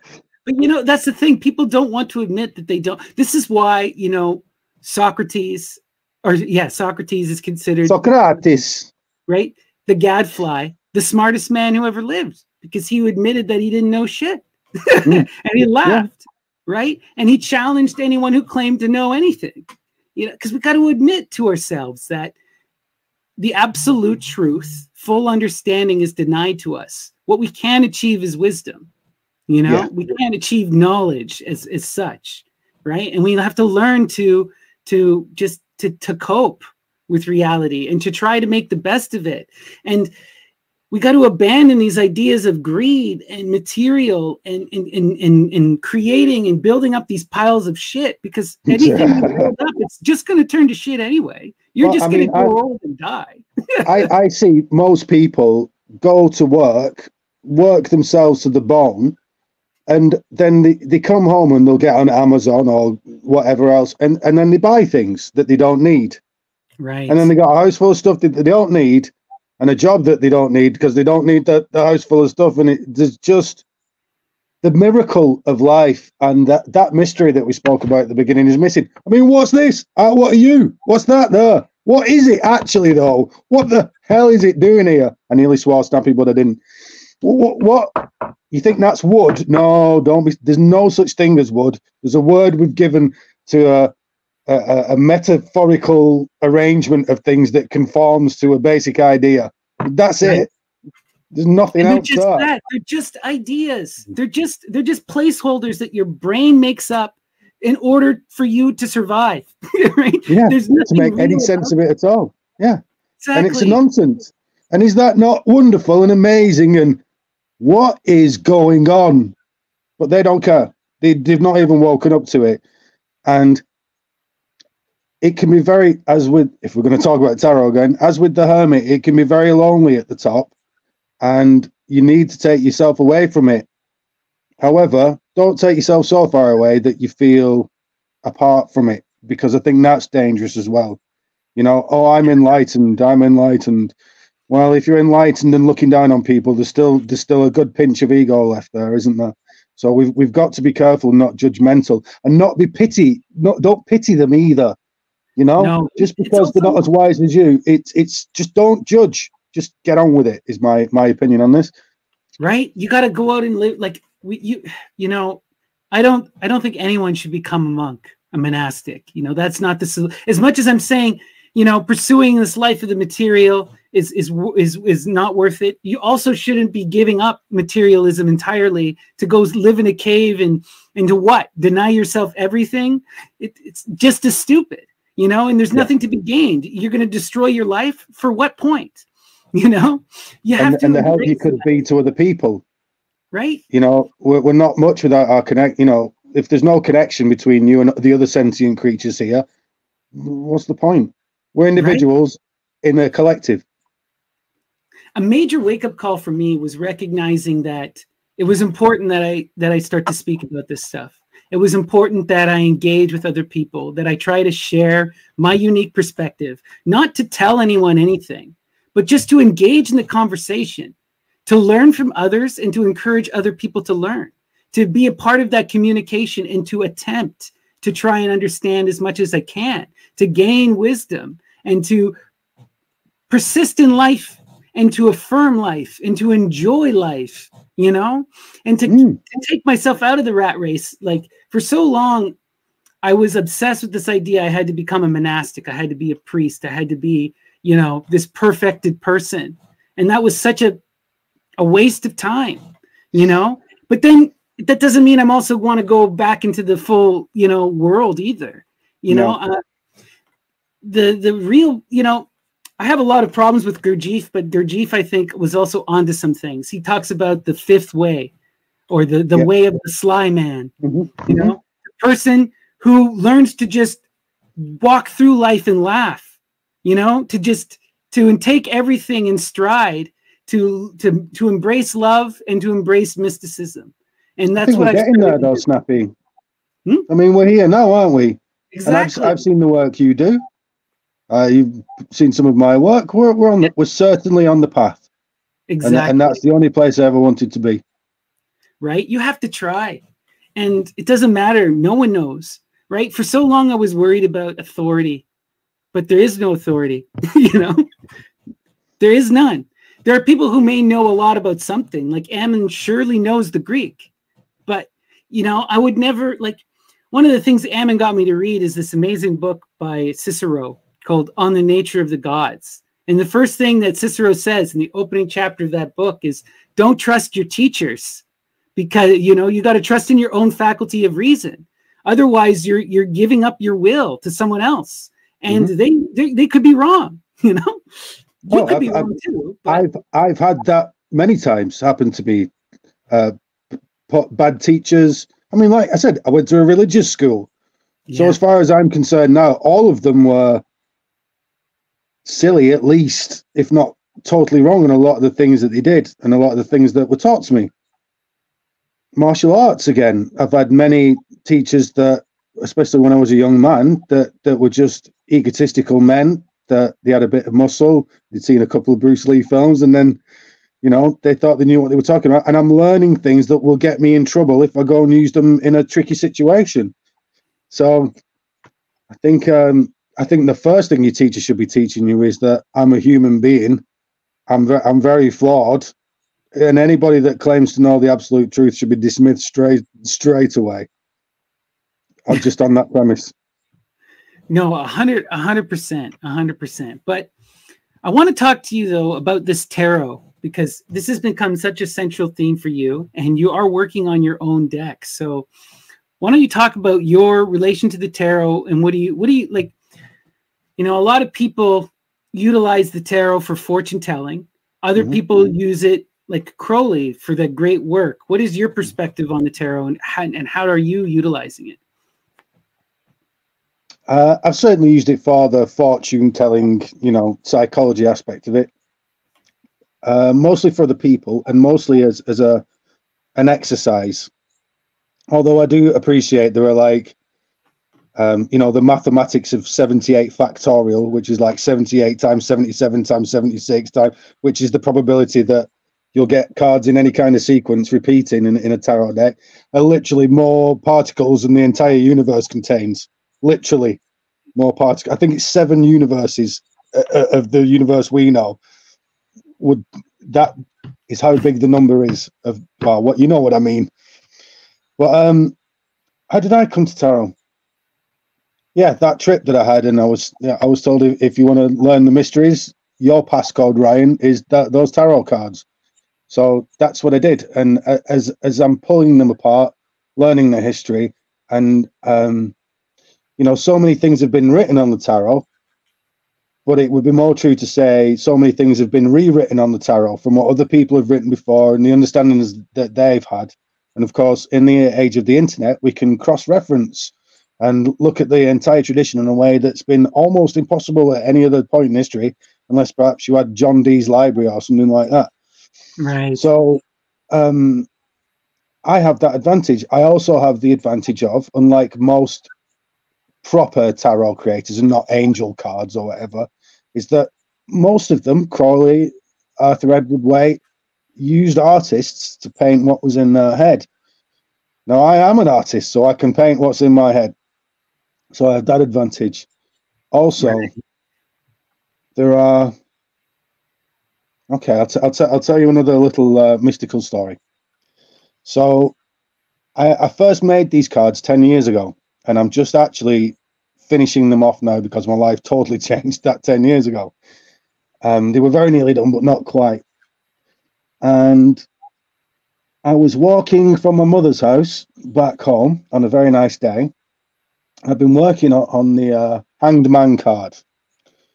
And anybody who knows the tarot will know that most of the cards are related to the stars and constellations. For example, the Strength card is related to Leo, with a little bit of Virgo thrown in there as well. But not the Hanged Man. No, they assign that to water because um, Crowley and the Golden Dawn and those guys had a bit of a fetish with uh, with Hebrew and Kabbalah which doesn't really seem to line up, certainly not as far as the Hebrew letters go. So I was like, surely there's some constellation going on here with this uh, with this hanged man card. So it's about an eight mile walk from my mother's back to my house, and I'm I'm passing over a canal, and there are there are swans on on the canal, and there's a, a canal barge coming up the canal very quickly, and I'm seeing these little baby cygnets and Daddy Swan and Mummy Swan. And Mummy Swan's hurt a leg and it's resting on her back. I'm like, oh no, mummy swan, and then this this canal barge is is hurtling down the canal. I'm like they, they they're not going to get out of the way in time. And just as as the incident was going to happen, the canal barge went under the bridge that I was on, and didn't quite hit these these cygnets and swans. But then I realised on the other side, the swans knew they weren't going to get hurt by the canal barge. They hit the wake of the bow and just sailed off like they were surfing. And as I'm walking away, I'm like, that was a very dramatically charged incident for such such a simple little thing that happened. Like, what, what's what was all that about? And I'm thinking, has this got something to do with the tarot cards? And I'm like, I wonder. I didn't know much about the constellations back then. I wonder if there's a, a constellation of the Swan.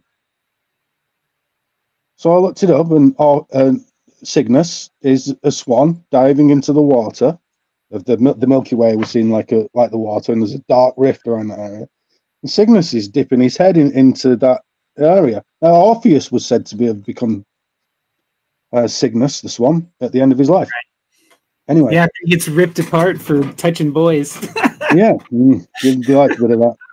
Um, so, what is the story of the swan? Well, it kind of survives in the ugly duckling. It's the metamorphosis from the ugly little dude that you know is scruffy and you know, grey and not very attractive and got a weird quack for a duck, suddenly becomes this beautiful, graceful swan that sticks its head under the water with its foot rested on its back when it's tired. Now, if you know the hangman, you know his foot rests at an angle. And that when I started to look at the um, the, the hangman cards, I realised on some of them he's sticking his tongue out and it's a beak.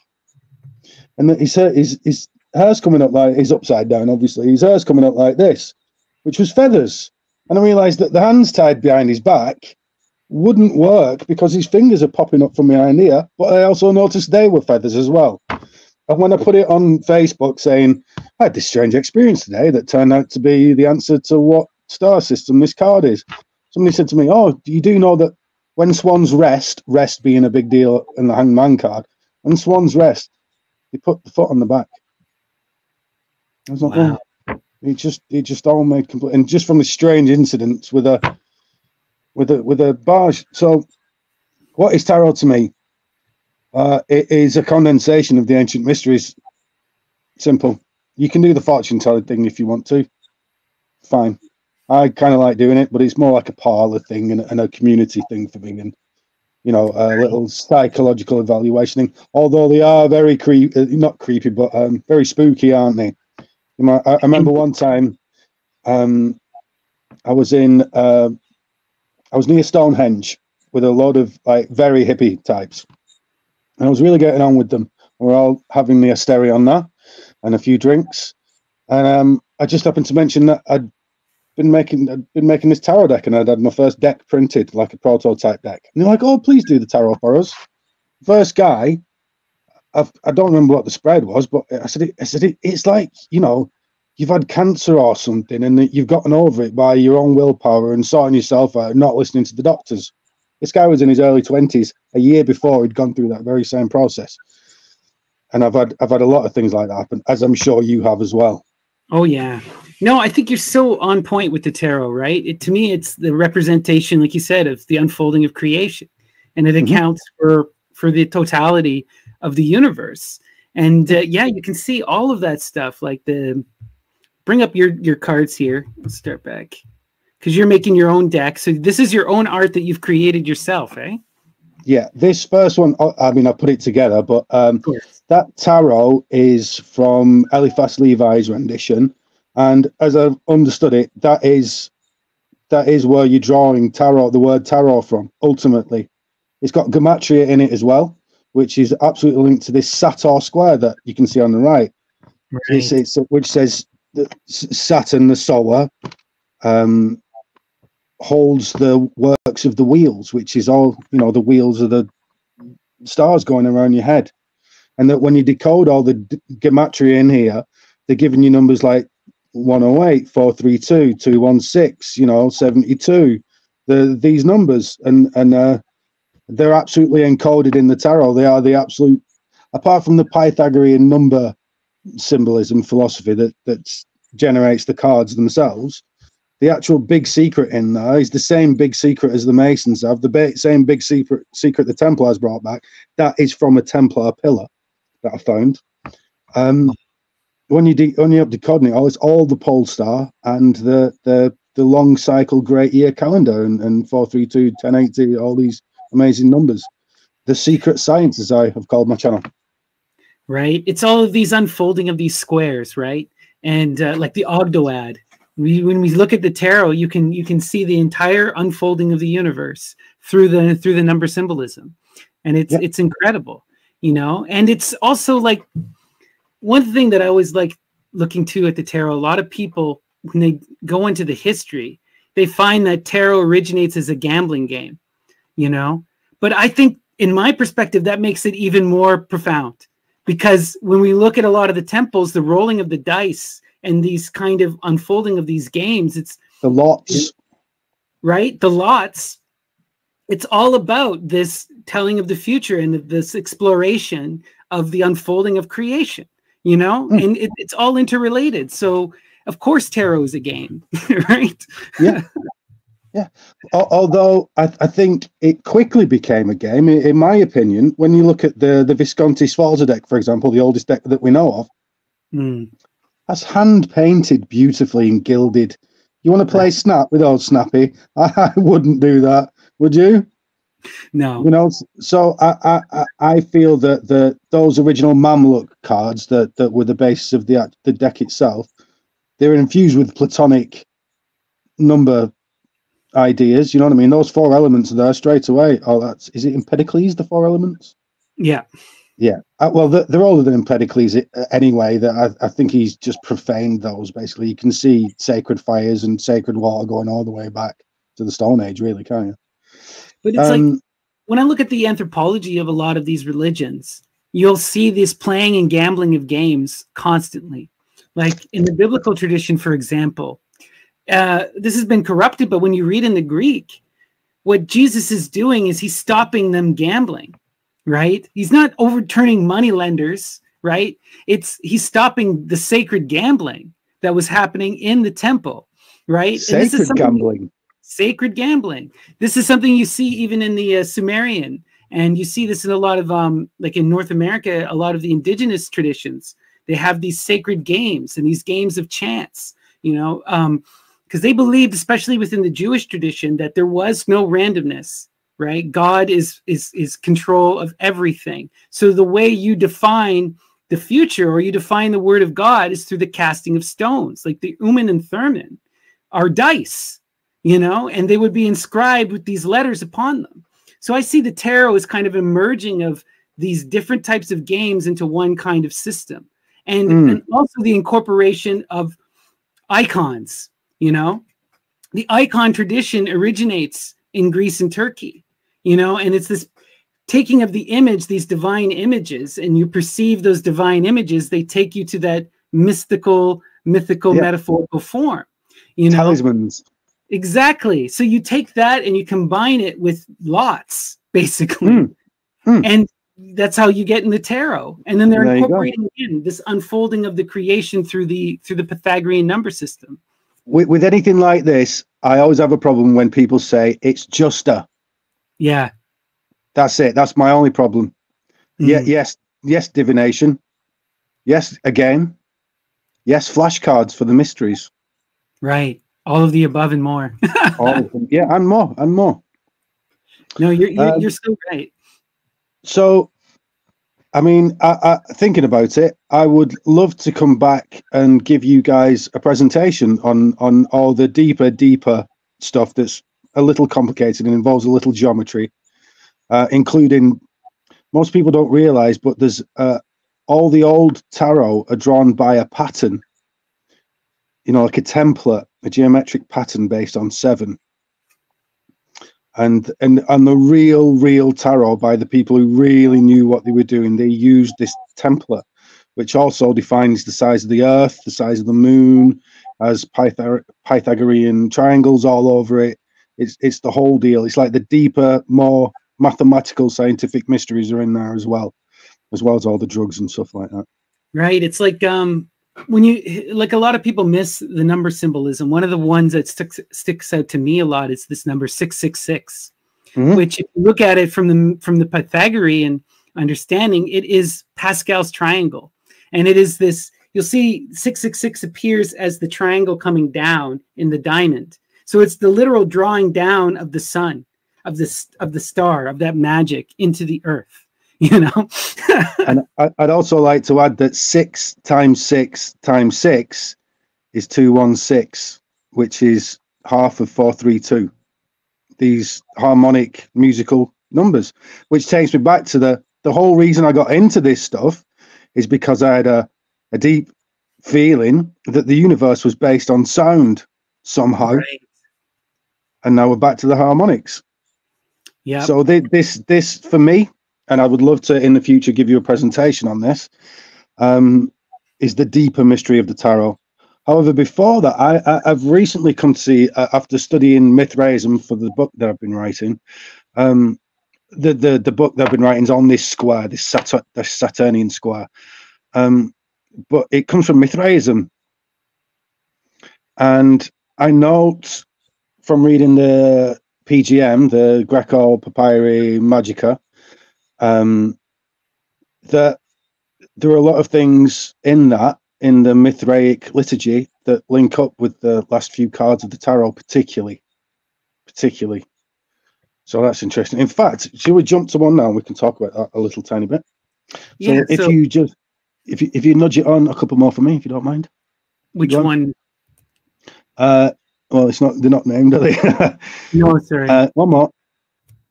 There we go. Right. So in the myth, I've, sorry, I've not prepared this in my head. It's just something that's been going on. So excuse me if I stumble over my words and sound a bit daft. But um, so in the PGM, and Carl Jung discussed this as well. That there's there's a part in there where it says um, you, you've got quite quite towards the end of, of the liturgy, and this liturgy is clearly uh, a guided drug trip, basically. But you get to a point where you look towards the sun, and if you look east and west quickly, this tube comes out of the sun, and you go to the back of the sun, and that's that's your portal. wow. Before then, you've gone through the moon and the sun and a few other things, and you know, we're, we're, you you start you become a star. You go through the moon and you go through the sun through this portal. Now, the last few cards have been the star, the moon, the sun. This one being judgment. Unfinished, by the way, to anybody looking. Something else I note about this card, no, no, I'm looking at it, that um that I put in there from a long time ago was one of my own deeper understandings was that if we look towards the bottom of that card where the land is, you might notice inverted is the Nile Delta. Can you just about see that? Yeah. Yeah. So take my word for it at home if you can't see that. The Nile Delta's there. Now, if you look at the last card of the Visconti deck, you stare at the Nile Delta for a few seconds and then look at the look at the last card of the original tarot deck, you'll see that those two things match up. That one is a plan view of the other. When I looked into it further, it looked also like that the judgment card was to do with the Orion Nebula, which is Orion's penis. Remembering that the card 21 is also the Fool. You know, there's a thing where it's card zero and card 21. Yeah. The Fool is Orion. The Fool is Orion. So it's natural now that we'd end up at his uh, at his phallus. Now, Orion on many of the cards has his trousers ripped and his willy hanging out. So here we are at his willy. Now, if you look at the, you can probably find this online. Um, other people have noticed too that the Orion Nebula looks very much like an archetypal version of the Nile Delta. The Nile Delta was drawn by the Egyptians, as was uh, the Sea of Galilee to the to the Hebrews, as the brain and spine. It is the brain and spine system. So now we've got a link between a very mystical link between the Orion Nebula, this card, the Mithras liturgy, the Nile Delta, and the brain and the spine. There's there's there's something going on there. Now that wouldn't be in the presentation, but um, That's wild. that is wild, isn't it? And No, I'll, I'll I'll, I'll send you an email personally. I mean, you can if you can get it to anybody on the Discord or anything, you're welcome to do it there. But I- I'll show you some of my working out and actual mapping over of one of the other, and you go, "Oh my word, is actually there's actually something to this." I'm not saying I'm right because Socrates is sat behind me, but you know, No, we we, definitely got to break this down further and discuss more. I should introduce you to my friend Rich, who's been really trying to map. So we've been engaged in this project recently where we're going through and we're looking at all of the deities and, and how they manifest each other, who's having sex with who and giving birth to who. And then we're mapping that upon the tarot and across the astrology. And it seems because like the sex is the key to the magic and the unfolding of all of this. And it understand it, it gets you through the fractals so that you can understand and reach back to because the Yeah. goal is to go back to zero. You go to 22 and then you go to zero yeah, again, go back round again.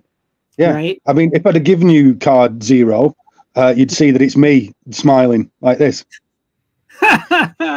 because I appreciate that I'm the fool, and and and I actually feel a great association with the fool card because I am something of a, a silly person. I The- love it's that. like the wisdom of the silly person, isn't it? Wh- When I th- I th- you you hear a lot of the time, he's a wise fool. The wisdom and foolishness are the same word. In fact, I believe there are some parts of, of, of the world where you are called a fool if you are wise. He's a fool. Yeah. No, for sure. And there's there's so much to that, right? Because the the fool is the one who takes the leap into creation, right? He takes that that jump into the unknown and doesn't question, doesn't assume knowledge, right? It's that pure Dionysian energy. He laughs and just He goes. eats the. How many grams of mushrooms did you have, Snappy? How many grams was it? 14 grams. Just Is, there, is that looking at his flower, stepping up onto crocodiles? Yes, 14 grams. yeah, it was ridiculous. But you know, Did, did did was it after Terence McKenna had died? it was after Terence McKenna had died. Did, yeah. did you meet him? No, I didn't meet him. I had my myself completely wrecked for eight hours, ripped apart, and I couldn't grasp onto anything. But Wow. I, I see it now as this. It was a deeply traumatic experience. I, like after I did that, you know, as I'm coming down, I purged. Right, I started getting extremely sick, and then I was looking in the into the vomit, and I had this recognition of myself as the vomit. You know, Mm. and I saw like this incredible life coming out of the refuse, and it was su- such a profound thing for me. Like I can't. What- what- It's so little. It's, Sorry, it's so Snappy. hard- I, I, I can't help but keep noticing Saturn and the cycle and the death and the birth and the alpha and the omega and everything that we've spoken about tonight. It's it, Yeah. it- it's just there everywhere. As soon as you're alive, you know you can say to, to much of an extent you're not going to find Mars without Venus. They're always right next to each other, but Saturn's everywhere all the time. I love it. Yeah, no, Saturn is the key to all of this, right? Because they're the unfolding of time, right? And we're bound by time. And what the mystery is about is about it. It's not about escaping time. It's about overcoming time. It's about Hmm. achieving aion. This is something that Ammon talks It's about. Aion, yeah. like a lot of people are looking for immortality. It's not immortality in the sense of the Christian sense, which is a stopping of time and existing in this paradise. No, it's about this force of will that persists through the destruction, right? It's that foundation, that museum that survives the the death that's inevitable, right? We're all going to die, but it's about. It's in the tarot as the lion, the bald eagle, and the man, the sphinx, the past, the present, the future, all four seasons brought into one. And there's actually a further secret to that that uh, when you count up the the numbers that the lion, the bald eagle, and the man are in, in the order of the tarot, that you, you get 26, which is the same as Jehovah, Yod He Vav He, which is the long count calendar again, that 25,920 years, 26,000 years that is to so many magicians and so many of these secret societies, that's the big secret. I've not found anything deeper than that. I mean, who it's the fingerprint of, of God, it, it, as they phrase it, you know, the, this Right. n- number harmonic stuff. right. It's, it's yeah, and sorry, go on. You go ahead. I was And, sorry, and you can't forget either that um, as as you guys have, have brought up that uh, that that Sphinx is a strangler and asks you questions about life. And why is it a strangler? Because it'll get you with its ball string with its toxon string because it's toxicology. And you're getting off your head and going beyond space and time and and perhaps going receiving some prophecy or, or how, however your culture sees it at the time. You know you become a sibyl. Yeah, you you get to, you you see the future and you perceive like all of this has happened before and will happen again. It's that like Nietzsche talks about this. It's that ever recurrence, you know, that that that the constant cycles again and again and again. In the Hindu tradition, they call this the great Leela, the unfolding, the play, right? It's it's God having fun with itself again and Mm. again and again and again. Mhm. One becomes many so that it can know itself, so that it can have sex with itself, you know, and then it becomes one again because of that separation, right? because this is that tired grand and shagged out paradox. It's that grand paradox. In order to experience the other, in order to have knowledge and communication, you have to separate. But then that separation causes suffering. And so to Yes. alleviate that suffering, you return back to the one. But then you don't have knowledge and communication. You, you don't have love. So you have to separate again. I, I would like to I would like to then put what you just said into physics. You know, when you look at quantum physics, what's actually happened is that that quantum field that's at the bottom of everything is fluxing into reality as we know it, and then fluxing out to the vacuum. It fluxes in, takes the information, fluxes out. It wakes up, has its day, goes to sleep. It spends its week working hard. It gets drunk and silly at the weekend it you know goes about its daily activity. It immolates itself and has sex at night you Yeah. know? It's this constant sun moon sun moon and beyond obviously but as though those being the Right? the Well, two polar polarities in the western tradition.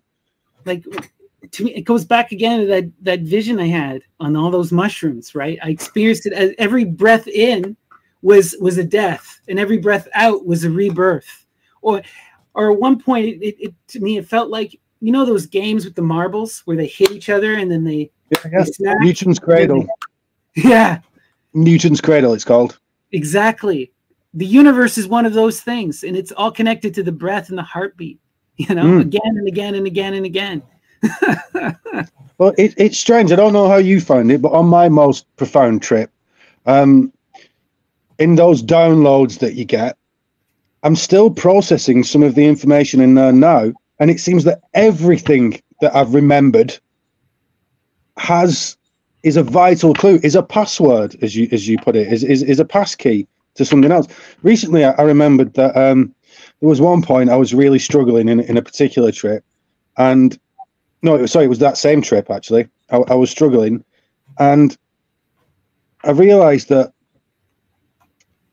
to have in those states, to have a negative thought, as it were, have a bad thought or aggressive, you know, whatever you want to, you know, not not a wholesome thought, would send me into a cascade of terrible feeling. Even to to begin to think those kind of thoughts would cascade into something awful. So you must re- restrain yourself from that and and although you understand why you're having those thoughts you must try and keep it positive. Well that's true in life isn't it? And it's the basis of basis of hermetics as well. You know keep keep keep on top of your willpower. Don't don't fall into the negative it's important to have the negative.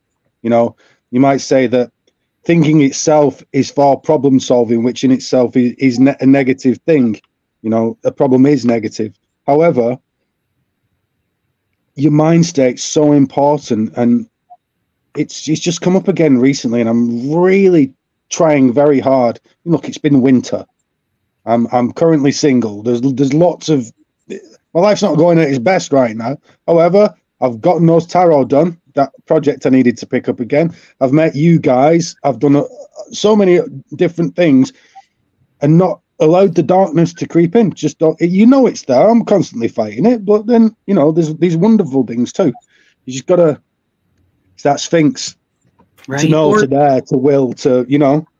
it makes me think of like when you were talking first about the you know that that profound image of the hermit right the hermit on one hand isolates themselves in order to do the shadow work, that self reflection, to see. But what is the point of this kind of dark thinking?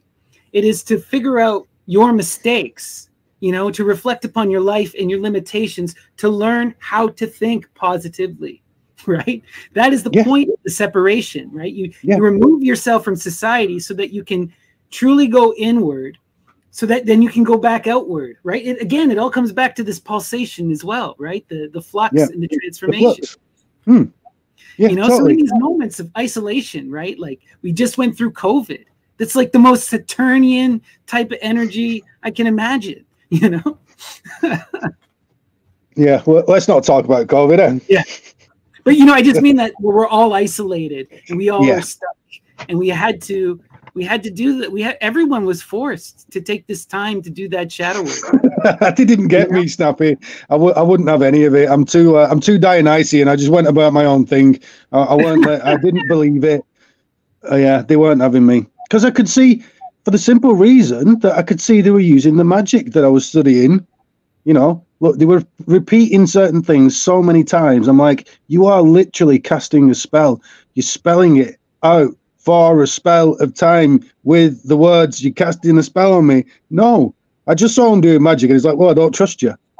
You know, if a magician comes up to you dressed like a magician and says, Oh, play a little game with me, you can win £5,000, you ain't coming away with that £5,000. You might be lo- lost £5,000. So, right. yeah, that was the way I saw it. Anyway, I, I might have well been wrong. Thankfully, I wasn't. But there you go. You know, enough of my rant it doesn't matter. At the end of the day, it doesn't matter, right? You have to learn to adapt and to protect yourself and to continue and persist regardless. Like, what are you going to do? There's always been these kind of crises. But it's interesting you bring up that image of the magician because when I think of the magician and many tarot decks, one of my favorite ones, it's an Egyptian tarot. And the magician is donkey headed, right? He's an ass because the magicians are often the charlatan. They're often the yeah. guy with the with the with the magic behind the curtain. You know, the, yeah. it's it's this duality. The one who can uh, grant you knowledge is also a liar. You know? Yeah, yeah, absolutely. Because it's the communication. If if you've got one body and another body, and then some kind of format between the two, whatever's between that bridge between the two, there's a whole chance for corruption there. You know, this might have pure thoughts, that won't have pure thoughts, but this middleman who is Mercury you know, he can corrupt it. He's a liar. He's, he's a transmitter. If he decides to, you know, put a bit of emotion into that that wasn't there before, he can totally change your perspective on things. What right. we were just talking about, and Snappy, I've lost my train of thought. We're, we're, we're just we're we're on to the magician now, you know. And this, oh, I so I, I, if you don't mind, um, so there's a medieval image of the magician, mm-hmm. and it, it's the marketplace, and there's a, a, a magician doing a cup and ball trick. There's a monkey sat next to his table for the monkey mind, and then there's another guy stood behind a patron who's who's bent over trying to figure out what's going on with this magician's tricks. And behind him, there's a pickpocket. Now, if you've studied tarot long enough, you'll come to realize that one of the main humanistic characteristics or humanistic symbologies of, of the magician card is attention. Where's your attention? and and that is playing with attention is is the the main power of the magicians all of us i count myself a magician now even though i was trying to defraud these swines i, I, I am one myself now a right? good one it's a nice one well you know what too it's like what did the magician really do the man, magician constructs a narrative he tells a story all stories are fundamentally lies but there are lies that transform and create history. They predict and they define the they predict the future and define the past. And if you look at the most powerful modern magicians, they're storytellers. There are authors, people like Grant Morrison or yep. you know um, Alan Moore or Alan Moore. even a character like Trump, right? Because they they utilize the power of lie and falsehood and they tell stories about themselves. They reimagine like the grand thing, like what Grant Morrison tells you flatly, what did he do? He created a comic book with himself as a superpowered, non-binary mega hero who got the girl and and, and was in on top of the world. And then it his whole life played out like that. Uh, I'm surprised that you can tell what Grant Morrison's saying. He's so Scottish. Although uh, being Canadian, are there a lot of like Scottish settlers in your area? Oh, there's Would you know- tons. Yeah. We have um, we have two provinces that are super super Scottish: Nova Scotia and Newfoundland. If you go to Newfoundland, it's like they were mostly Scottish and Irish immigrants, and they sound like I can barely understand them. They sound like they're from Glasgow, you know. Yeah. All right then. What are you doing? There, you we Canadians there, we never changed. They're all colonies still, you know. Get in my belly. but yeah, it's all about you know, and this is a psychology thing. I was talking to a good friend of mine who's a uh, doctor of psychology, of uh, neuroscience, and he was telling me that the brain operates on narrative. Okay, unless you have like a form of autism, you know. Most people think entirely through the telling of stories. We learn everything through communicating of stories.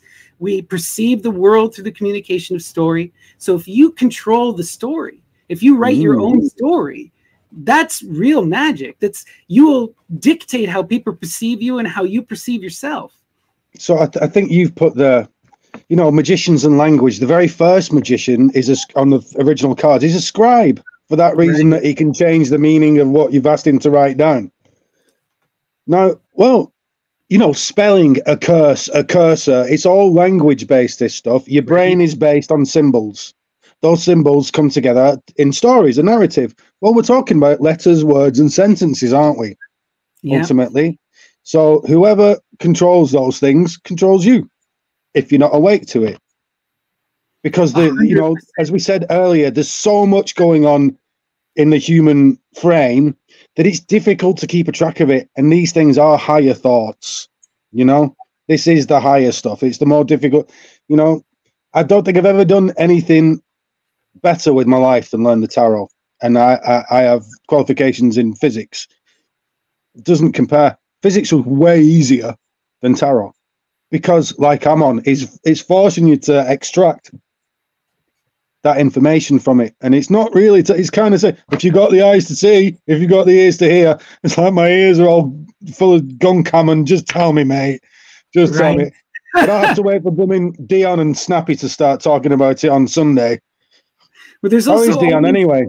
dion is wonderful he's doing great he's um his big thing is uh he work he lives in uh calif in in los angeles and he works he was working in hollywood but the strike had uh, put things on hold for him and he wound up having to get a job um growing marijuana and it wasn't really wasn't it he on one hand you'd think it would be great but the kind of people who are who are doing business in marijuana were not the kind of people he wanted to be working with but Right. the strike in Hollywood is over, and now he's able to get back to his work. He works as a security guard, but he loves the job because he can be free to do what basically he gets to hang out around sets and he can be on his phone researching. And we Yeah, just cool. we- we- when he was working, we would just be chatting all day, you know.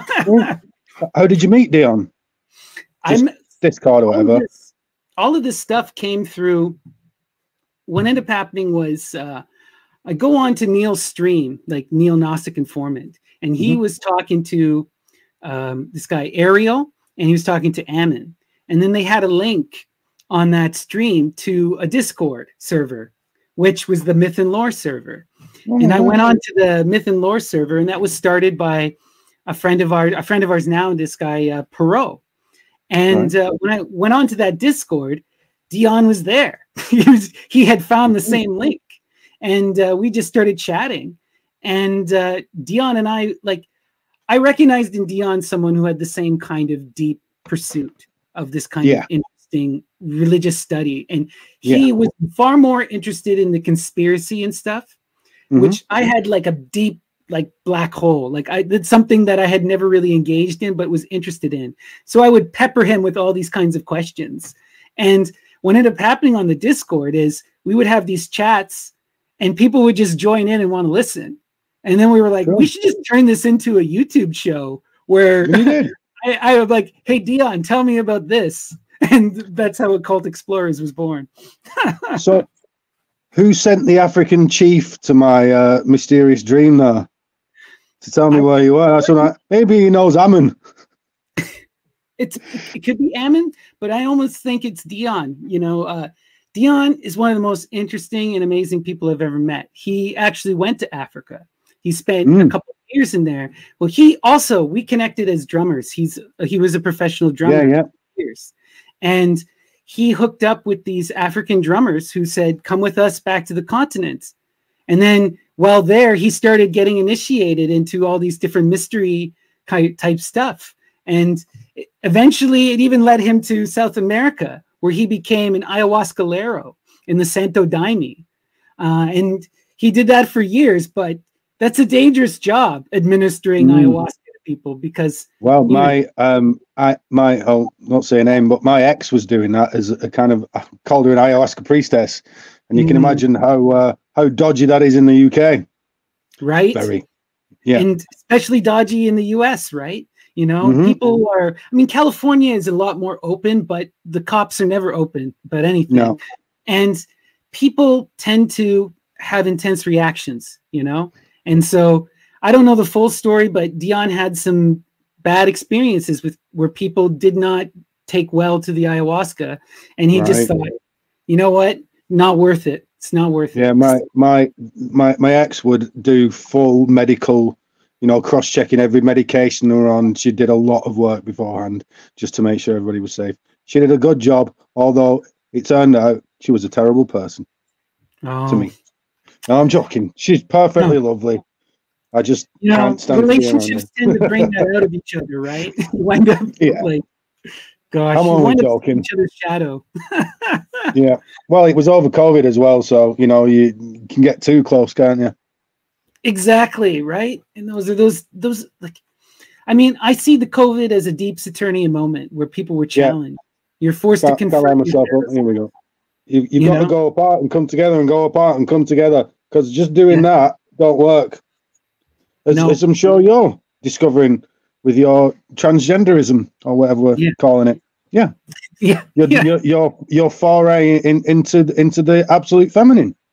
Yeah it's about you know exploring the self and for me it was recognizing that for so much of my life i had denied aspects of myself and because either society beat that out of me quite literally growing up you know mm-hmm. what it's like to grow up as a as a masculine person especially in our culture in our age you know it's uh it's brutal and especially if you're an effeminate person you I was, uh, especially growing up, I was effeminate, bullied all the time. I had a, I had a terrible time of it. Yeah, absolutely. Exactly. I know how to behave.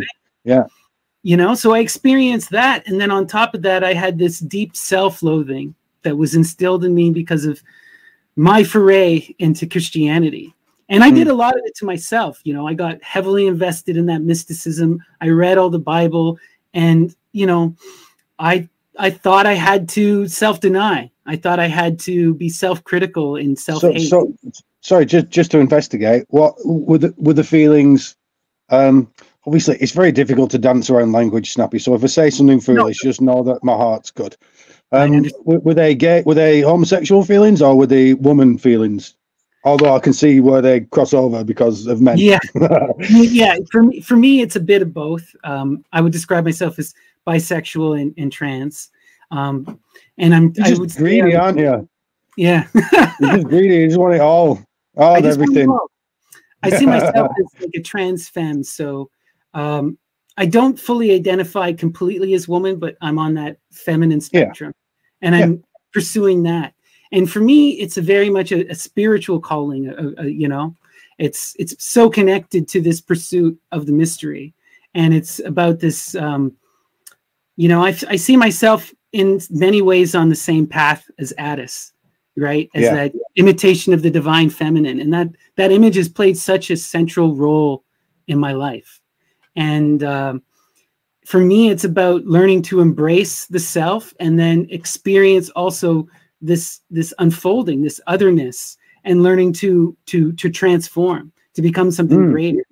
Right? Are you finding as as uh, a boy as a man won't necessarily become a man. You know, it takes effort and sacrifice and all those other things. So something I've never quite worked out. But um, are you finding there's a similar thing on your journey towards femininity?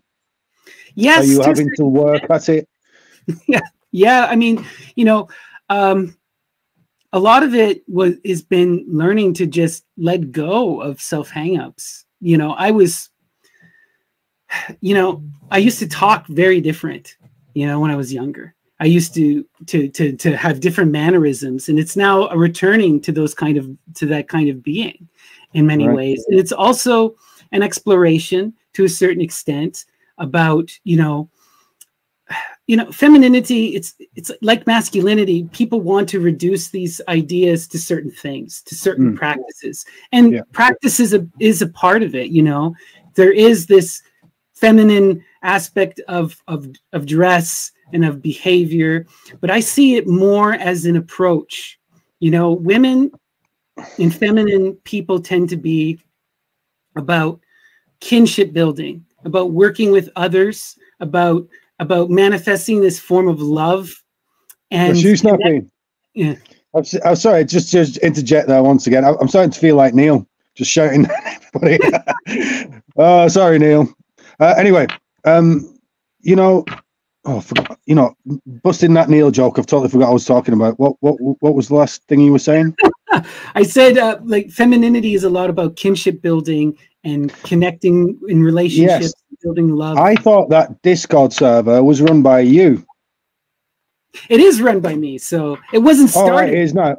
Okay, sorry, it wasn't started by you. Well, I just, I, I, you just appeared to me to be that person that does connect people together, that does gather people, that that feminine family, you know, old lady with big boobs and a big belly. Oh, come here, love. You know that. You know what I mean, don't you? Big no, Mama, black folk would call her. Well, if I was going to describe myself as a tarot card, I would say that I'm trying to manifest the Queen of Discs. You know, that's that right. energy that I'm trying to build. The, the person who builds the foundation through connecting people together, through bringing people together in a form of friendship and love and mm. connection. Mm. You know, and the yeah. Discord and this server, the, the the YouTube channel, that's the whole project. This is how my magic is manifesting in this kind of feminine Queen of Discs energy. Excellent. Yeah. I, I, must say the reason why I connected with you in the end was um, it was Terence McKenna again. It was find the others, find the others. Right. You're, you're, the others. Yeah. Amazing. This has been so much fun, Ryan. Um, I really enjoyed having this deep conversation. We're coming on two hours now, so we should probably wind down. So, what I want to ask you is there anything you want to leave our audience with? Is there anything you want to, as a last form of discussion? I would I would be preaching to the converted, I think, on on this channel. But um, the first thing that came to my mind was that the world is not as you think it is. As simple as that. And if you can start there and, and end it, I'll never know what it is, but it's not what I think it is. I think I think that's something miraculous you can take away with you because it will have permanent effects on the way that you look at life. Simple as that other than that, Snappy, I would love to come back and give you. I mean, if it, even if it was just for you and on this channel, I'd love to give you a presentation of what I found in the tarot. We will ten thousand percent do that. Let's let's chat over email. I'm sure everyone here will love to see that. And I want to dig more because, like, I didn't realize that you drew all these images and the stuff you're talking about. I'm I'm very very intrigued. You know, um, I've mostly approached the tarot through that mystical approach of engaging with the images I mm-hmm. haven't done a lot of the astrological. This is something that keep that I keep engaging with and coming up to. So I'd love to to hear your perspective and pick your brain since you've already done it. You know. yeah. Yeah.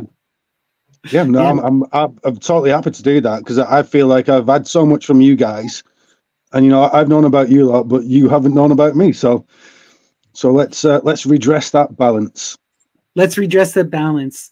All right, everyone. So any final words before I say goodnight? Big up your bad selves, everybody. All it's right. two o'clock in the morning, so I'm going straight to bed. There'll be no Discord or anything like that tonight. Maybe a little bit of Asterion. There you go. Put yourself to sleep. All right, everyone. Peace, love. Hail Satan. Make sure to follow Ryan on their channel, Ryan7. You can see it here. They have some amazing documentaries.